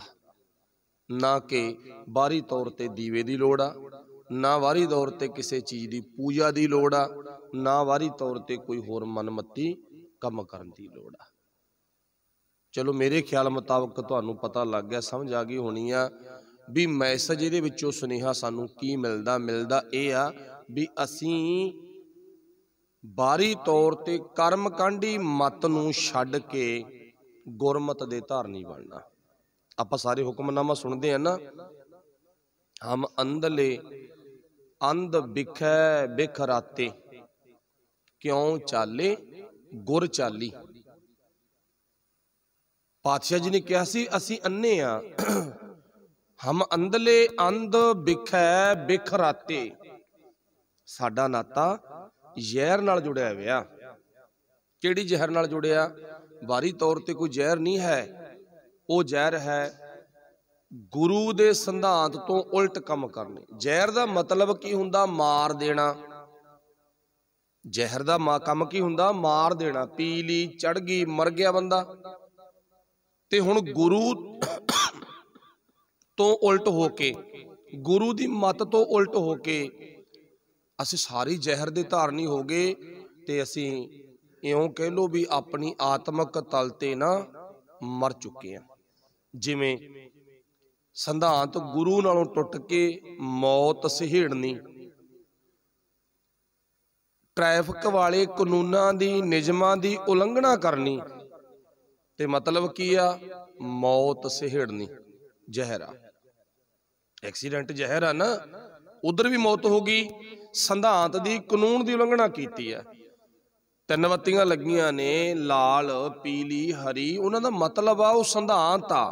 ਉਹ ਕੁਝ ਸਿਖਾ ਰਹੀਆਂ ਐਵੇਂ ਗੁਰੂ ਦਾ ਸੰਧਾਂਤ ਆ, ਗੁਰੂ ਨਾਲ ਟੁੱਟਣਾ, ਜ਼ਹਿਰ ਦੇ ਆਦੀ ਹੋਣਾ। ਹੁਣ ਪਾਤਸ਼ਾਹ ਜੀ ਕਹਿੰਦੇ, ਹਰ ਨਾਮਾ ਜਪ ਸੁਖ ਪਾਇਆ, ਜਨ ਨਾਨਕ ਸ਼ਬਦ ਵਿਚਾਰ। ਹਰੀ ਦੇ ਨਾਮ ਨਾਲ ਜੁੜ ਕੇ ਨਾ ਸ਼ਬਦ ਦੀ ਵਿਚਾਰ ਕਰਿਆ ਕਰ। ਤੇਰੇ ਲਈ ਸਭ ਤੋਂ ਵਧੀਆ, ਸਭ ਤੋਂ ਚੰਗਾ, ਇਹ ਦੀਵਾ ਹੈ, ਇਹ ਦੀਵਾ ਕਦੇ ਵੀ ਖਤਮ ਨਹੀਂ ਹੁੰਦਾ। ਦੀਵਾ ਮੇਰਾ ਏਕ ਨਾਮ, ਦੁੱਖ ਵਿੱਚ ਪਾਇਆ ਤੇਲ। ਇਸ ਦੀਵੇ ਵਿੱਚ ਨਾ ਦੁੱਖਾਂ ਦਾ ਤੇਲ ਪਾ ਦੋ। ਫਿਰ ਕੀ ਆ, ਉਨ ਚਾਨਣ ਉਹ ਸੁਖਿਆ। ਚੂਕਾ, ਜਮ ਸਿਓ ਮੇਲ। ਤੇ ਮੇਰਾ ਬਕਾਰਾਂ ਨਾਲੋਂ ਖਿਹੜਾ ਛੁੱਟ ਜੂ। ਬਕਾਰਾਂ ਨਾਲੋਂ ਖਿਹੜਾ ਛਡਵਾਉਣਾ ਬੰਧਨਾਂ ਤੋਂ ਛੁੱਟਣਾ ਹੈ। ਤੇ ਜਿਹੜਾ ਬੰਧਨਾਂ ਤੋਂ ਛੁੱਟ ਗਿਆ, ਉਹ ਬੰਦੀ ਛੋੜ ਗੁਰੂ ਦਾ ਚੇਲਾ ਬਣ ਗਿਆ।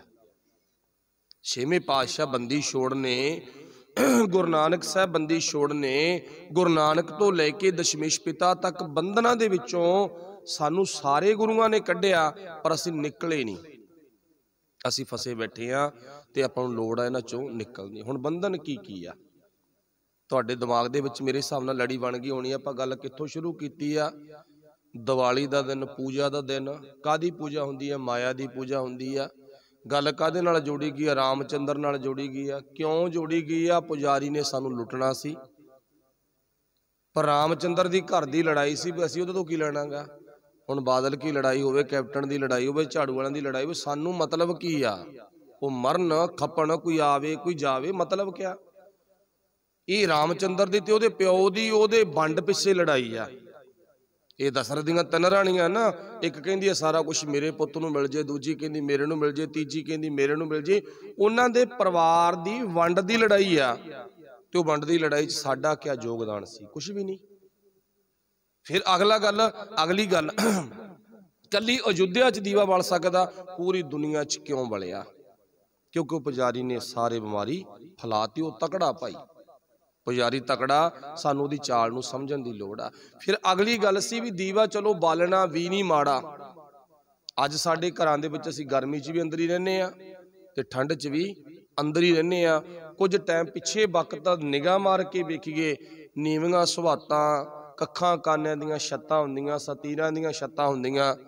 6 ਮਹੀਨਿਆਂ ਤੋਂ ਸਾਲ ਬੱਧੀ ਸਫ਼ਾਈ ਹੁੰਦੀ ਘਰ ਦੀ, ਉਹ ਘਰ ਦੇ ਵਿੱਚ ਜੋਤ ਲਾਈ ਜਾਂਦੀ, ਮਤਲਬ ਘਿਓ ਦਾ ਦੀਵਾ ਵਾਲਿਆ ਜਾਂਦਾ। ਸਰੋਂ ਦਾ ਤੇਲ ਤੇ ਘਿਓ ਦਾ ਦੀਵਾ ਬਾਲਣ ਨਾਲ ਮੰਨਿਆ ਜਾਂਦਾ। ਜ਼ਿਆਦਾਤਰ ਘਿਓ ਦਾ ਦੀਵਾ ਬਾਲਣ ਨਾਲ ਮੰਨਿਆ ਜਾਂਦਾ ਵੀ ਆਕਸੀਜਨ ਪੈਦਾ ਹੁੰਦੀ ਹੈ ਤੇ ਖੁਸ਼ਬੂ ਪੈਦਾ ਹੁੰਦੀ ਹੈ। ਸਾਹ ਸੌਖਾ ਹੋਣ ਲੱਗ ਜਾਂਦਾਗਾ ਲਾਈਟ ਬੱਤੀ ਦਾ ਕੋਈ ਪ੍ਰਬੰਧ ਨਹੀਂ। ਉਹ ਮਾੜਾ ਨਹੀਂ ਸੀ, ਪਰ ਸਮਾਂ ਪਾ ਕੇ ਦੀਵੇ ਦੀ ਪੂਜਾ ਹੋਣ ਲੱਗ ਗਈ। ਦੀਵੇ ਨੇ ਜਿਹੜਾ ਕੰਮ ਕੀਤਾ ਨਾ, ਉਹ ਤਾਂ ਬਹੁਤ ਚੰਗਾ ਕੰਮ ਕੀਤਾ। ਉਹਨੇ ਸਾਨੂੰ ਆਕਸੀਜਨ ਦਿੱਤੀ, ਸਾਨੂੰ ਸੁਗੰਧੀ ਦਿੱਤੀ, ਪਰ ਦੀਵੇ ਦੀ ਪੂਜਾ ਆਰੰਭ ਕਰ ਦਿੱਤੀ ਹੁਣ। ਦੁੱਖ ਇੱਥੇ ਆ, ਹਨਾ? ਸਮਾਂ ਪਾ ਕੇ ਮਤਲਬ ਇਹ ਦਿਨ, ਇਹ ਤਿਹਾਰ ਕਦ ਚ ਬਦਲ ਗਿਆ? ਕੁਰੀਤੀ ਚ ਬਦਲ ਗਿਆ। ਤੇ ਗੁਰੂ ਸਾਹਿਬ ਨੇ ਫਿਰ ਅਗਲੀ ਗੱਲ ਕਹੀ ਸੀ, ਬੰਦੀ ਛੋੜ। ਫਿਰ ਸਾਨੂੰ ਬੰਦੀ ਛੋੜ ਨਹੀਂ ਕਹਿਣਾ ਚਾਹੀਦਾ, ਸਾਨੂੰ ਗਵਾਲੀਅਰ ਛੋੜ ਕਹਿਣਾ ਚਾਹੀਦਾ ਜਾਂ ਕਹਿਣਾ ਚਾਹੀਦਾ ਜੇਲ੍ਹ ਛੋੜ। ਕਿਉਂ? ਕਿਉਂਕਿ ਗੁਰੂ ਸਾਹਿਬ ਨੇ ਗਵਾਲੀਅਰ ਦੇ ਵਿੱਚੋਂ ਰਾਜਾ ਨੂੰ ਛਡਵਾਇਆ। ਗਵਾਲੀਅਰ ਛੋੜ ਕਹਿ ਸਕਦੇ ਆਪਾਂ। ਜੇਲ੍ਹ ਛੋੜ ਕਹਿ ਸਕਦੇ ਆ ਬਾਵਰ ਦੀ ਕੈਦ ਛੋੜ ਕਹਿ ਸਕਦੇ ਆ ਆਪਾਂ। ਪਰ ਬੰਦੀ ਛੋੜ ਕਿਉਂ ਕਿਹਾ ਗਿਆ? ਕਿਉਂਕਿ ਜੇ ਗਵਾਲੀਅਰ ਦੇ ਵਿੱਚ ਵਿਪਤਾ ਨਾ, ਤੇ ਕੱਲੀ ਗਵਾਲੀਅਰ ਦੇ ਵਿੱਚੋਂ ਵਿਪਤਾ ਚੋਂ ਨਹੀਂ ਗੁਰੂ ਕੱਢਦਾ, ਗੁਰੂ ਪੂਰੀ ਦੁਨੀਆ ਨੂੰ ਸ਼ਬਦ ਦੇ ਰਾਹੀਂ ਵਿਪਤਾ ਚੋਂ ਕੱਢਦਾਗਾ ਤੇ ਵਿਪਤਾ 'ਚ ਸਾਰੇ ਫਸੇ ਹੋਏ ਨੇ। ਹੁਣ ਆਪਾਂ ਬਾਬੇ ਨਾਨਕ ਤੋਂ ਪੁੱਛ ਲਓ ਵਿਪਤਾ ਸਾਨੂੰ ਕੀ ਆ? ਦੇਖੋ, ਜੇ ਤਾਂ ਆਪਾਂ ਕੱਲੇ ਕੱਲੇ ਨੂੰ ਪੁੱਛਾਂਗੇ ਨੇ, ਸ਼ਾਇਦ ਅਸੀਂ ਮੰਨਣਾ ਨਹੀਂ ਵੀ ਨਹੀਂ, ਸਾਨੂੰ ਕੋਈ ਵਿਪਤਾ ਨਹੀਂ ਹੈ, ਸਾਨੂੰ ਕੋਈ ਬੰਧਨ ਨਹੀਂ ਹੈ। ਪਰ ਜਦੋਂ ਗੁਰੂ ਦੱਸਦਾ ਨਾ, ਫਿਰ ਸਾਨੂੰ ਪਤਾ ਲੱਗ ਜਾਂਦਾ, ਇਸ ਵਾਰ ਅਸੀਂ ਨਾ ਹਾਂ ਕਹਿ ਦਿੰਦੇ ਵੀ ਹਾਂ, ਗੱਲ ਤੇਰੀ ਠੀਕ ਆ। ਹੁਣ ਸਤਿਗੁਰੂ ਪਾਤਸ਼ਾਹ ਨੇ ਪਾਵਨ ਬਾਣੀ ਦੇ ਵਿੱਚ ਬੜੀ ਪਿਆਰੀ ਵਿਚਾਰ ਦਿੱਤੀ ਆ, ਬੰਧਨ ਮਾਤ ਪਿਤਾ ਸੰਸਾਰ। ਬੰਦਾ ਪੂਰੇ ਸੰਸਾਰ ਮਾਤਾ ਪਿਤਾ ਕਰਕੇ ਬੰਧਨਾਂ 'ਚ ਫਸਿਆ ਹੋਇਆ। ਮਤਲਬ ਸਾਡਾ ਕਿਤੇ ਨਾ ਕਿਤੇ ਦਿਮਾਗ, ਮਾਤਾ, ਪਿਤਾ ਤੇ ਸੰਸਾਰੀ ਲੱਛਣਾਂ ਤੇ ਰੀਤਾਂ ਤੇ ਚਲਾ ਜਾਂਦਾ ਹੈ। ਅਸੀਂ ਬੰਧਨ 'ਚ ਫਸ ਜਾਂਦੇ ਆ ਸੰਖੇਪ ਵਿਚਾਰਾ ਫਿਰ ਅਗਲੀ ਗੱਲ ਕੀ ਹੈ ਬੰਧਨ, ਸੁੱਤ, ਕੰਨਿਆ, ਅਰਨਾਰ। ਧੀ, ਪੁੱਤ। ਸੁੱਤ, ਪੁੱਤ, ਕੰਨਿਆ, ਧੀ। ਧੀਆਂ, ਪੁੱਤਾਂ ਅਤੇ ਨਾਰੀ, ਪਤਨੀ। ਇਹਨਾਂ ਦੇ ਵੀ ਬੰਧਨ ਨੇ ਬੰਦਾ। ਇਹਨਾਂ ਦੇ ਬੰਧਨਾਂ 'ਚ ਵੀ ਗੁਰੂ ਨਾਨਕ ਸਾਹਿਬ ਜੀ ਕਹਿੰਦੇ ਫਸਿਆ ਹੋਇਆ ਹੈਗਾ ਤੇ ਗੱਲ ਸੱਚੀ ਆ, ਪਰ ਗੁਰੂ ਸਾਹਿਬ ਨੇ ਸਾਨੂੰ ਇਹ ਵੀ ਨਹੀਂ ਕਿਹਾ ਵੀ ਇਹਨਾਂ ਨੂੰ ਛੱਡ ਕੇ ਕਿਸੇ ਪਾਸੇ ਵਗ ਜਾ। ਪਰ ਸਾਨੂੰ ਸਮਝਾਇਆ ਕੀ ਆ, ਤੇਰੇ ਦਿਮਾਗ ਦੇ ਵਿੱਚ ਬਹੁਤ ਵੱਡਾ ਬੰਧਨ ਫਸ ਗਿਆ। ਬੰਦੀ ਦੇ ਵਿੱਚ ਤੂੰ ਫਸ ਗਿਆ। ਕਿਹੜੀ ਬੰਦੀ 'ਚ? ਪੁੱਤ, ਧੀ, ਨਾਰੀ ਮਾਤਾ ਪਿਤਾ ਸੰਸਾਰ। ਫਸ ਗਿਆ ਨਾ ਬੰਧਨਾਂ 'ਚ। ਫਿਰ ਅੱਗੇ ਕੀ ਕਿਹਾ? ਬੰਧਨ ਕਰਮ ਧਰਮ ਹਉ ਕੀਆ। ਹੁਣ ਬੰਦਾ ਫਿਰ ਨਾ ਧਰਮ ਦੇ ਨਾਂ ਤੇ ਕਰਮ ਕਰਨ ਦੇ ਬੰਧਨ 'ਚ ਵੀ ਫਸ ਗਿਆ। ਕਿਵੇਂ ਫਸ ਗਿਆ? ਮੰਨ ਲਓ, ਘਰੇ ਪੈਸਾ ਨਹੀਂ, ਦਿਨ ਦੀਵਾਲੀ ਦਾ ਆ ਗਿਆ ਤੇ ਬੰਦਾ ਕੀ ਕਹਿੰਦਾ? ਵੀ ਮੈਂ ਤਾਂ ਆ ਕੁਛ ਕਰਨੀ ਕਰਨਾ, ਭਾਵੇਂ ਵਿਆਜੂ ਚੱਕ ਕੇ ਲਿਆਵਾਂ। ਤੇ ਬਾਬਾ ਨਾਨਕ ਕਹਿੰਦਾ ਇਹ ਨਾ ਕਰੇਗਾ ਫਿਰ ਕੀ ਹੋ ਜੂ? ਉਹਨਾਂ ਨੇ ਕਿਹਾ ਵੀ ਜੇ ਨਾ ਕਰੇਗਾ, ਫਿਰ ਕੀ ਹੋ ਜਾਊਗਾ? ਇੱਕ ਸਾਡੀ ਕਹਾਵਤ ਵੀ ਨੇ ਅੱਠੇ ਆਪਣਾ ਸਦਾ ਦੀਵਾਲੀ ਸਾਧ ਕੀ ਅੱਠੇ ਪਹਿਰ ਆਨੰਦ। ਰੱਬ ਦੇ ਪਿਆਰਿਆਂ ਦੀ ਦੀਵਾਲੀ ਤਾਂ ਸਦਾ ਹੀ ਆ। ਰੱਬ ਦੇ ਪਿਆਰਿਆਂ ਦਾ ਜੀਵਨ ਸਦਾ ਹੀ ਆਨੰਦਮਈ ਆ। ਪਰ ਇਹ ਇਹ ਚੱਕਰ 'ਚ ਬੰਧਨ 'ਚ ਫਸ ਗਿਆ ਬੰਦਾ। ਵਰਤ ਨੰਗੇ ਨੇ, ਬੰਧਨਾਂ 'ਚ ਫਸੇ ਹੋਏ ਆ। ਹਊਆ ਕਿੱਡਾ ਵੱਡਾ ਬਣ ਗਿਆ, ਨਾ ਰੱਖਿਆ। ਕੀ ਹੋਊਗਾ? ਨਾਂ ਰੱਖਿਆ ਕੀ ਬਣੂਗਾ? ਮਤਲਬ ਇੱਥੇ ਗੱਲ ਕੀਤੀ ਹੈ ਕਰਮ ਤੇ ਧਰਮ ਦੀ। ਬੰਧਨ, ਕਰਮ, ਧਰਮ ਹਉ ਕੀਆ ਤੇ ਉਹ ਬੰਧਨ ਸਾਨੂੰ ਭਾਈ ਹੰਕਾਰੀ ਵੀ ਬਣਾ ਦਿੰਦੇ ਨੇ। ਬਾਬਾ ਨਾਨਕ ਕਹਿੰਦਾ, ਦੇਖ ਤੇਰੇ ਆ ਬੰਧਨ ਨੇ ਭਾਈ। ਅੱਗੇ ਗੱਲ ਕੀਤੀ ਆ, ਬੰਧਨ ਕਿਰਖੀ ਕਰੇ ਕਰਸਾਨ ਦੇਖੋ, ਕਿਸਾਨੀ ਕਰਨੀ ਨਹੀਂ ਮਾੜੀ, ਖੇਤੀ ਕਰਨੀ ਨਹੀਂ ਮਾੜੀ। ਅੰਨਦਾਤੇ ਦਾ ਖਤਾ ਮਿਲਿਆ ਵਿਆ। ਪਰ ਬਾਬਾ ਨਾਨਕ ਕਹਿੰਦਾ ਨਾ, ਤੂੰ ਕਰਸਾਨ ਹੋਣ ਦੇ ਨਾਂ ਤੇ ਵੀ ਬੰਧਨ 'ਚ ਫਸਿਆ ਹੋਇਆ ਨਿਗਾਹ ਮਾਰ ਕੇ ਵੇਖ ਲਾ, ਧਿਆਨ ਤੇਰਾ ਕਿੱਥੇ ਆ? ਸ਼ਬਦ ਵਿੱਚ ਆ ਜਾਂ ਆਪਣੇ ਕੰਮ ਤੇ ਆ? ਪਰ ਗੱਲ ਤਾਂ ਬਾਬੇ ਨਾਨਕ ਨੇ ਸੱਚੀ ਕਹੀ ਹੈ ਇਹਦੇ ਨਾਲ ਸਹਿਮਤ ਅਸੀਂ 99 ਕ ਲੋਕ ਨਹੀਂ ਹੋਵਾਂਗੇ, ਇੱਕ ਅੱਧਾ ਹੀ ਲੈਸ ਸਹਿਮਤ ਹੋਊਗਾ ਵੀ ਹਾਂ, ਗੱਲ ਸਹੀ ਆ। ਸਾਡੇ ਦਿਮਾਗ ਦੇ ਵਿੱਚ ਇੰਨੀ ਕ ਮਤਲਬ ਕਬੀਲਦਾਰੀ ਕਹਿ ਲੋ ਢਾਂਚਾ ਕਹਿ ਲੋ ਫਸ ਗਿਆ। ਆਮ ਬੰਦੇ ਦੇ ਮੂੰਹੋਂ ਗੱਲ ਇਹੀ ਹੁੰਦੀ ਆ, ਨਹੀਂ ਜੀ ਕੀ ਕਰੀਏ? ਕੰਮ ਧੰਦੀ ਇੰਨੇ ਨੇ, ਅਸੀਂ ਕੁਝ ਕਰ ਹੀ ਨਹੀਂ ਸਕਦੇ, ਨਾ ਬਾਣੀ ਪੜ ਸਕਦੇ ਆ, ਨਾ ਗੁਰੂ ਦੀ ਸੰਗਤ ਕਰ ਸਕਦੇ ਆ, ਨਾ ਅਸੀਂ ਕੋਈ ਹੋਰ ਬਾਬੇ ਨਾਨਕ ਦੇ ਸੰਦੇਸ਼ ਨੂੰ ਪੜ ਸੁਣ ਸਕਦੇ ਆ। ਫਿਰ ਪਾਸ਼ਾ ਕਹਿੰਦੇ, ਤੇਰੀ ਕਰਸਾਣੀ ਵੀ ਨਾ ਤੇਰਾ ਕੰਮ ਵੀ ਤੇਰੇ ਲਈ ਬੰਧਨ ਬਣ ਗਿਆ। ਬੰਧਨ ਕਿਰਖੀ ਕਰੇ ਕਰਸਾਨ। ਅੱਗੇ ਕਿਹਾਗਾ ਹਉਮੈ ਡਨ ਸਹਿ ਰਾਜਾ ਮੰਗੈ ਦਾਨ। ਦਾਨ ਦੇਣ ਦੇ ਚੱਕਰ 'ਚ ਵੀ ਬੰਦਾ ਬੰਧਨ 'ਚ ਫਸ ਗਿਆ। ਚਲੋ ਮੰਨ ਲਓ ਦਸਵੰਧ ਕੱਢਣਾ, ਆਪਾਂ ਵੀ ਕਹਿੰਨੇ ਵੀ ਸਾਡੀ ਰੀਤ ਆ, ਕੱਢਣਾ ਚਾਹੀਦਾ, ਪਰ ਉਹ ਚੱਕਰ ਵੀ ਬੰਦੇ ਨੂੰ ਬੰਧਨ 'ਚ ਫਸਾ ਗਿਆ। ਜਣੀ ਕਿਉਂ ਕਹਿ ਲੋ ਮੁਸੀਬਤ ਵਿੱਚ ਫਸਾ ਗਿਆ। ਦਾਨ ਕਰਨਾ ਵੀ। ਹੁਣ ਸੋਚ ਕੇ ਦੇਖੋ, ਬਾਬੇ ਨਾਨਕ ਨੇ ਕੋਈ ਕੰਮ ਨਹੀਂ ਛੱਡਿਆ ਵੀ ਜਿਹੜਾ ਤੈਨੂੰ ਬੰਧਨ 'ਚ ਨਾ ਫਸਾਉਂਦਾ ਹੋਵੇ। ਇਸ ਕਰਕੇ ਬੰਧਨ ਦੀ ਗੱਲ ਚੱਲੀ ਆ ਤੇ ਬਾਬਾ ਨਾਨਕ ਬੰਧਨਾਂ ਤੋਂ ਸਾਨੂੰ ਛਡਵਾ ਦਿੰਦਾ। ਬੜਾ ਤਰੀਕਾ ਵਧੀਆ ਦੱਸਦਾਗਾ ਉਹ। ਫਿਰ ਕਹਿੰਦੇ ਨੇ, ਬੰਧਨ ਸੌਦਾ ਅਣਵਿਚਾਰੀ। ਤੇਰੇ ਜੀਵਨ 'ਚ ਸ਼ੁੱਧ ਵਿਚਾਰ ਨਹੀਂ ਹਨ। ਸ਼ੁੱਧ ਵਿਚਾਰ ਨਾ ਹੋਣ ਕਰਕੇ ਵੀ ਤੂੰ ਮਾੜੇ ਵਿਚਾਰਾਂ ਦਾ ਧਾਰਨੀ ਹੋ ਕੇ ਬੰਧਨਾਂ 'ਚ ਫਸਿਆ ਹੋਇਆਗਾ ਆਪਣੇ ਆਪ ਨੂੰ ਚੈੱਕ ਕਰਕੇ ਵੇਖੀਏ, ਸਾਡੇ ਜਿਹੜੇ ਵਿਚਾਰ ਨੇ ਅੰਦਰ ਦੇ ਥਾਟ ਨੇ ਕਹਿ ਲੋ ਅੰਦਰ ਦੇ, ਬਲਬਲੇ ਨੇ, ਉਹ ਵੀ ਸਾਨੂੰ ਕਿਤੇ ਨਾ ਕਿਤੇ ਜਾ ਕੇ ਬੰਧਨ ਦੇ ਵਿੱਚ ਫਸਾਈ ਬੈਠੇ ਨੇ, ਸਾਡੇ ਜੀਵਨ ਵਿੱਚ ਆਨੰਦ ਨਹੀਂ ਹੈ। ਫਿਰ ਪਾਸ਼ਾ ਕਹਿੰਦੇ ਨੇ, ਤੇ ਪਤਨਾ ਮਾਇਆ ਮੋਹ ਪਸਾਰੀ ਕਹਿੰਦੇ ਬੰਦੇ ਨੂੰ ਨਾ ਜੀਵਨ ਦੇ ਵਿੱਚ ਤ੍ਰਿਪਤੀ ਨਹੀਂ ਆਈ, ਅਸਲ ਦੇ ਵਿੱਚ ਤ੍ਰਿਪਤੀ ਆਉਣੀ ਹੀ ਬੰਧਨਾਂ ਤੋਂ ਮੁਕਤ ਹੋਣਾਗਾ। ਬੰਧਨ ਸਾਹ ਸੰਚੈ ਧਨ ਜਾਏ, ਧਨ ਨਾ ਚਲਾ ਜਾਵੇ, ਖਤਮ ਨਾ ਹੋ ਜੇ, ਕੋਈ ਚੁਰਾ ਕੇ ਨਾ ਲੈ ਜੇ, ਇਹ ਵੀ ਬੰਦੇ ਨੂੰ ਬੰਧਨ ਬਣ ਗਿਆ। ਬਿਨ ਹਰ ਭਗਤ ਨਾ ਪਵਹੀ ਥਾਏ। ਬਾਬਾ ਨਾਨਕ ਕਹਿੰਦਾ, ਗੁਣਾ ਤੋਂ ਬਿਨਾ, ਭਗਤੀ ਤੋਂ ਬਿਨਾ ਤੂੰ ਕਿਸੇ ਲੇਖੇ ਵਿੱਚ ਨਹੀਂ ਪੈ ਸਕਦਾ। ਬੰਧਨ, ਬੇਦ, ਬਾਦ, ਅਹੰਕਾਰ, ਬੇਦਾਂ ਦੀਆਂ ਵਿਚਾਰਾਂ ਵੀ ਬਾਬਾ ਨਾਨਕ ਕਹਿੰਦਾ ਬੰਧਨ ਬਣ ਜਾਂਦੀਆਂ ਨੇ। ਬੰਧਨ ਬਿਨਸੈ ਮੋਹ ਬਕਾਰ, ਮੋਹ ਤੇ ਬਕਾਰੀ ਭਾਵਨਾ ਵੀ ਸਾਡੀ ਜ਼ਿੰਦਗੀ 'ਚ ਬੰਧਨ ਹੈ। ਨਾਨਕ, ਰਾਮ, ਨਾਮ ਸ਼ਰਣਾਈ ਸਤਗੁਰ ਰਾਖੇ ਬੰਧ ਨਾ ਪਾਈ, ਜਿਨ੍ਹਾਂ ਨੇ ਗੁਰੂ ਦਾ ਉਪਦੇਸ਼ ਆਪਣੀ ਜ਼ਿੰਦਗੀ 'ਚ ਧਾਰਨ ਕਰ ਲਿਆ ਤੇ ਸੱਚੇ ਪਾਤਸ਼ਾਹ ਕਹਿੰਦੇ ਉਹ ਬੰਧਨਾਂ ਤੋਂ ਭਾਈ ਮੁਕਤ ਹੋ ਗਏ। ਉਹ ਕੱਲੇ ਨਾ ਗੁਰੂ ਪਾਤਸ਼ਾਹ ਜੀ ਗਵਾਲੀਅਰ ਦੇ ਕਿਲੇ 'ਚੋਂ ਮੁਕਤ ਨਹੀਂ ਕਰਦੇ। ਉਥੋਂ ਨਹੀਂ ਸਾਨੂੰ ਛਡਵਾਉਂਦੇ ਕੱਲੀ ਉਹ ਬਾਵਰ ਦੀ ਕੈਦ 'ਚੋਂ ਨਹੀਂ ਛਡਵਾਉਂਦੇ। ਉਹਨਾਂ ਨੇ ਤਾਂ ਸਾਨੂੰ ਹਰ ਥਾਂ ਤੇ ਕੋਈ ਵੀ ਕਿਸੇ ਪ੍ਰਕਾਰ ਦਾ ਬੰਧਨ ਹੈ, ਉਹ ਬੰਧਨਾਂ ਤੋਂ ਬਚਾ ਲੈਣਾ ਹੈ, ਪਰ ਜੇ ਸ਼ਬਦ ਨੂੰ ਆਪਣੇ ਹਿਰਦੇ 'ਚ ਲੈ ਕੇ ਆਵਾਂਗੇ। ਜੇ ਨਾ ਲੈ ਕੇ ਆਵਾਂਗੇ, ਫਿਰ ਅਸੀਂ ਭਾਈ ਇਦਾਂ ਮਨਮਤੀ ਕਰਮਾਂ ਦੇ ਵਿੱਚ ਫਸੇ ਰਵਾਂਗੇ। ਉਹ ਸਾਡੀ ਪਰੰਪਰਾ, ਸਾਡੀ ਰੀਤ, ਸਾਡਾ ਪਿੱਛੇ ਤੋਂ ਇੱਕ ਬਹੁਤ ਵੱਡਾ ਝੰਬੇਲਾਗਾ ਉਹ ਬਣਿਆ ਹੋਇਆ ਉਹ ਵੀ ਚੱਲਦਾਗਾ। ਪਰ ਗੁਰੂ ਪਾਤਸ਼ਾਹ ਕਿਰਪਾ ਕਰੇ, ਧੰਨ ਗੁਰੂ ਹਰਗੋਬਿੰਦ ਸਾਹਿਬ ਮਹਾਰਾਜ ਜੀ, ਜਦੋਂ ਗਵਾਲੀਅਰ ਦੇ ਕੈਦ ਵਿੱਚੋਂ ਕਿਲੇ ਵਿੱਚੋਂ ਬਾਹਰ ਆਏ ਨੇ। ਤਾਂ ਸਭ ਤੋਂ ਪਹਿਲਾਂ ਨਾ, ਉਹ ਹਰਦਾਸ ਜੀ ਦੇ ਘਰ ਪਹੁੰਚਦੇ ਨੇ। ਦਰੋਗਾ ਹਰੀਦਾਸ, ਜੋ ਕਿ ਗੁਰੂ ਪਾਤਸ਼ਾਹ ਜੀ ਦਾ ਬਹੁਤ ਵਧੀਆ ਸਿੱਖ ਆ, ਪਰ ਸਰਕਾਰੀ ਮੁਲਾਜ਼ਮ ਵੀ ਆ। ਸਰਕਾਰੀ ਮੁਲਾਜ਼ਮ ਵੀ ਆ। ਮੁਲਾਜ਼ਮ ਹੋਣ ਦੇ ਨਾਂ ਤੇ ਗੁਰੂ ਦਾ ਗੁਰਮਤ ਦਾ ਧਾਰਨੀ ਗੁਰਸਿੱਖ ਆਗਾ ਤੇ ਉਹਨੇ ਜਦੋਂ ਆਪਣੇ ਘਰੇ ਪਹਿਲਾਂ ਬੁਲਾਵਾ ਦਿੱਤਾ ਸੀ ਪਾਤਸ਼ਾਹ ਪਹਿਲਾਂ ਮੇਰੇ ਘਰ ਆਓ, ਫਿਰ ਆਪਾਂ ਅੱਗੇ ਚੱਲਾਂਗੇ, ਦਰਬਾਰ ਸਾਹਿਬ ਪਹੁੰਚਣਾਗਾ ਫਿਰ। ਤੇ ਪਹਿਲਾਂ ਦੀਵੇ, ਮਤਲਬ ਗੁਰੂ ਪਾਤਸ਼ਾਹ ਜੀ ਦੀ ਆਉਣ ਦੀ ਖੁਸ਼ੀ ਵਿੱਚ ਮੰਨਿਆ ਗਿਆ ਵੀ ਉਹਨੇ ਖੁਸ਼ੀ ਵਿੱਚ ਦੀਵਾ ਬਾਲਿਆ। ਹੁਣ ਇੱਥੇ ਸਿੱਧ ਹੋ ਗਿਆ ਵੀ ਜੇ ਉਹਨਾਂ ਨੇ ਦੀਵਾ ਬਾਲਿਆ ਤੇ ਗੁਰੂ ਸਾਹਿਬ ਕੱਟ ਰਹੇ ਨੇ ਤਾਂ ਸਾਨੂੰ ਵੀ ਦੀਵਾ ਬਾਲਣਾ ਚਾਹੀਦਾ। ਇਹਦਾ ਮਤਲਬ ਕੀ ਬਣਿਆ? ਸ਼ਾਇਦ ਤੁਸੀਂ ਸਾਰੇ ਇਦੋਂ ਪਹਿਲਾਂ ਵਾਲੀ ਵਿਚਾਰ ਚੋਂ ਸਮਝ ਚੁੱਕੇ ਹੋਵੋਗੇ।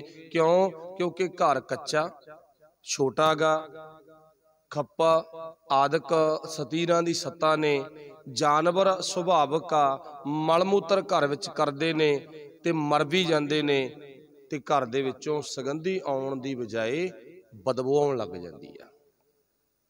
ਤੇ ਉਹ ਬਦਬੂ ਨੂੰ ਸੁਗ- ਸੁਗੰਧੀ ਚ ਤਬਦੀਲ ਕਰਨ ਦੇ ਲਈ ਗੁਰੂ ਦੇ ਪ੍ਰੇਮ ਤੇ ਸਤਕਾਰ ਨੂੰ ਮੁੱਖ ਰੱਖ ਕੇ ਨਾ ਸਫ਼ਾਈ ਕਰਕੇ ਘਰ ਦੇ ਵਿੱਚ ਘਿਓ ਦੇ ਦੀਵੇ ਤਾਂ ਵਾਲੇ ਸੀ ਮੇਰੇ ਮਾਲਕ ਨੂੰ ਨਾ ਮੇਰੇ ਘਰੇ ਬੈਠੇ ਨੂੰ ਕਿਤੇ ਬਦਬੂ ਨਾ ਆ ਜਾਵੇ। ਜੀਵ ਜੰਤੂ ਮਰ ਜਾਂਦੇ ਨਾ, ਕਿਤੇ ਬਦਬੂ ਨਾ ਜਾਵੇ, ਮਤਲਬ ਉਹਦੇ ਅੰਦਰ ਇੱਕ ਪਿਆਰ ਸੀ ਗੁਰੂ ਦੇ ਸਤਕਾਰ ਪ੍ਰਤੀ। ਉਹਨੇ ਮਨਮਤ ਚ ਨਹੀਂ ਲਾਏ ਸੀਗੇ ਵੀ ਭਾਵ ਆਪਣੇ ਵਾਲੀ ਵਿਚਾਰ ਉਹਦੀ ਹੋਵੇ ਵੀ ਪੂਜਾ ਕਰਨੀ ਹੈ, ਦੀਵੇ ਨੂੰ ਮੱਥਾ ਟੇਕਣਾ ਆਦਿਕ ਇਦਾਂ ਦੇ ਕਰਮ ਕਰਨੇ ਆ। ਨਾ, ਉਹਦੇ ਦਿਮਾਗ ਦੇ ਵਿੱਚ ਕੁਝ ਹੋਰ ਸੀ ਤੇ ਉਹ ਸਾਡੇ ਸਮਾਜ ਦੇ ਵਿੱਚ ਇੱਕ ਮਨਮਤੀ ਟਾਈਮ ਬਣ ਗਿਆ। ਤੇ ਦੂਜਾ, ਜਿੰਨਾ ਕੁ ਮੈਂ ਪੜਿਆ ਵਾਹਿਗੁਰੂ ਭਲਾ ਕਰੇ ਤੇ ਜਿਹੜੀ ਦਰਬਾਰ ਸਾਹਿਬ ਦੀ ਦੀਵਾਲੀ ਹੈ, ਸ਼ਾਇਦ ਇਹ ਤੁਹਾਨੂੰ ਜ਼ਿਆਦਾ ਪਤਾ ਹੋਣਾਗਾ। ਮਹੰਤਾਂ ਨੇ ਸ਼ੁਰੂ ਕੀਤੀ ਸੀ, ਮਹੰਤ ਸੀ ਬੇਅਕਲੇ। ਤੇ ਤੁਸੀਂ ਕਹੋਗੇ, ਲੈ, ਇਹ ਅਕਲ ਵਾਲਾ ਆ ਗਿਆ, ਮਹੰਤਾਂ ਨੂੰ ਬੇਅਕਲੇ ਕਹਿੰਦਾ, ਮੈਂ ਨਹੀਂ ਕਹਿੰਦਾ ਸਾਡੀਆਂ ਪੁਰਾਣੀਆਂ ਸਰੋਤ ਲਿਖਤਾਂ ਕਹਿੰਦੀਆਂ ਨੇ। ਉਹਨਾਂ ਨੇ ਤਾਂ ਵਿਚਾਰਿਆਂ ਨੇ ਪੂਰੀਆਂ ਪ੍ਰਕਰਮਾਂ ਦੇ ਵਿੱਚ ਫੋਟੋਆਂ ਵੀ ਲਾਤੀਆਂ ਸੀਗੀਆਂ, ਮੂਰਤਾਂ ਰੱਖਤੀਆਂ ਸੀਗੀਆਂ। ਕੱਲੀ ਕੱਲੀ ਮੂਰਤ ਨੂੰ ਤੁਸੀਂ ਮੱਥਾ ਟੇਕਣਾ। ਹੁਣ ਟਾਈਮ ਕਿਸੇ ਕੋਲੇ ਹੈ ਹੀ ਨਹੀਂਗਾ। ਬੰਧਨ 'ਚ ਫਸੇ ਹੋਏ ਆ ਨਾ ਕੱਲੀ ਕੱਲੀ ਨੂੰ ਮੱਥਾ ਟੇਕਣਾ। ਜਦੋਂ ਨੂੰ ਦਰਬਾਰ ਸਾਹਿਬ ਤੱਕ ਬੰਦਾ ਜਾਂਦਾ ਸੀ ਤੇ ਉਦੋਂ ਨੂੰ ਟਾਈਮ ਹੋ ਜਾਂਦਾ ਸੀ। ਕਹਿੰਦਾ, ਹੁਣ ਫਟਾਫਟ ਮੱਥਾ ਟੇਕੋ ਤੇ ਵਾਪਸ ਭੱਜ ਚੱਲੋ। ਮਤਲਬ ਕੀ ਸੀ? ਉਲਝ ਜੋ ਮਤਲਬ ਆ ਸੀ। ਅਲਝਾਉਣ ਦੇ ਲਈ ਉਹਨਾਂ ਨੇ ਪਰੰਪਰਾ ਸ਼ੁਰੂ ਕੀਤੀ ਆ, ਨਾ ਕਿ ਕਿਸੇ ਗੁਰੂ ਸਹਿਬਾਨ ਨੇ। ਤੇ ਉਹ ਪਰੰਪਰਾ ਅੱਜ ਜਾਰੀ ਆ, ਇੱਥੇ ਵੀ ਜਾਰੀ ਆ ਤੇ ਅੱਗੇ ਵੀ ਉਹ ਜਾਰੀ ਆ। ਗੁਰੂ ਕਿਰਪਾ ਕਰੇ। ਸਤਿਗੁਰੂ ਸਾਨੂੰ ਭਾਈ ਬੰਧਨਾਂ ਦੇ ਵਿੱਚੋਂ ਕੱਢਦੇ ਆ। ਤਾਈਓ ਉਹਨਾਂ ਨੂੰ ਬੰਧਨ ਬੰਦੀ ਛੋੜ ਕਿਹਾ ਜਾਂਦਾਗਾ। ਨਾ ਜੇਲ੍ਹ ਛੋੜ ਕਿਹਾ ਜਾਂਦਾ, ਨਾ ਗਵਾਲੀਅਰ ਛੋੜ ਕਿਹਾ ਜਾਂਦਾ। ਤੇ ਗੁਰੂ ਸਾਨੂੰ ਨਾ ਬੰਧਨ ਦੇ ਵਿੱਚੋਂ ਕੱਢਦਾ। ਬੰਧਨ ਬੰਦੇ ਦੇ ਜੀਵਨ 'ਚ ਕਿਹੋ ਜਾ ਕਦੋਂ ਵੀ ਕਿਸੇ ਟਾਈਮ ਘਰ ਦੇ ਵਿੱਚ ਬਾਹਰ ਅੰਦਰ ਪੈ ਸਕਦਾ ਹੈ। ਤੇ ਉਹਨਾਂ ਬੰਧਨਾਂ ਤੋਂ ਸਾਨੂੰ ਗੁਰੂ, ਗਿਆਨ ਦਾ ਦੀਵਾ ਬਾਲ ਕੇ ਬਾਹਰ ਕੱਢ ਦਿੰਦਾ ਹੈ। ਅੱਜ ਗਿਆਨ ਦਾ ਦੀਵਾ ਬਾਲਣ ਦੀ ਬਜਾਏ ਬੰਦਾ ਬਾਹਰੀ ਦੀਵਿਆਂ ਦੇ ਵਿੱਚ ਉਲਝ ਗਿਆ। ਸੋ ਸਭ ਦਾ ਧੰਨਵਾਦ। ਭੁੱਲਾਂ ਦੀ ਖੇਮਾ।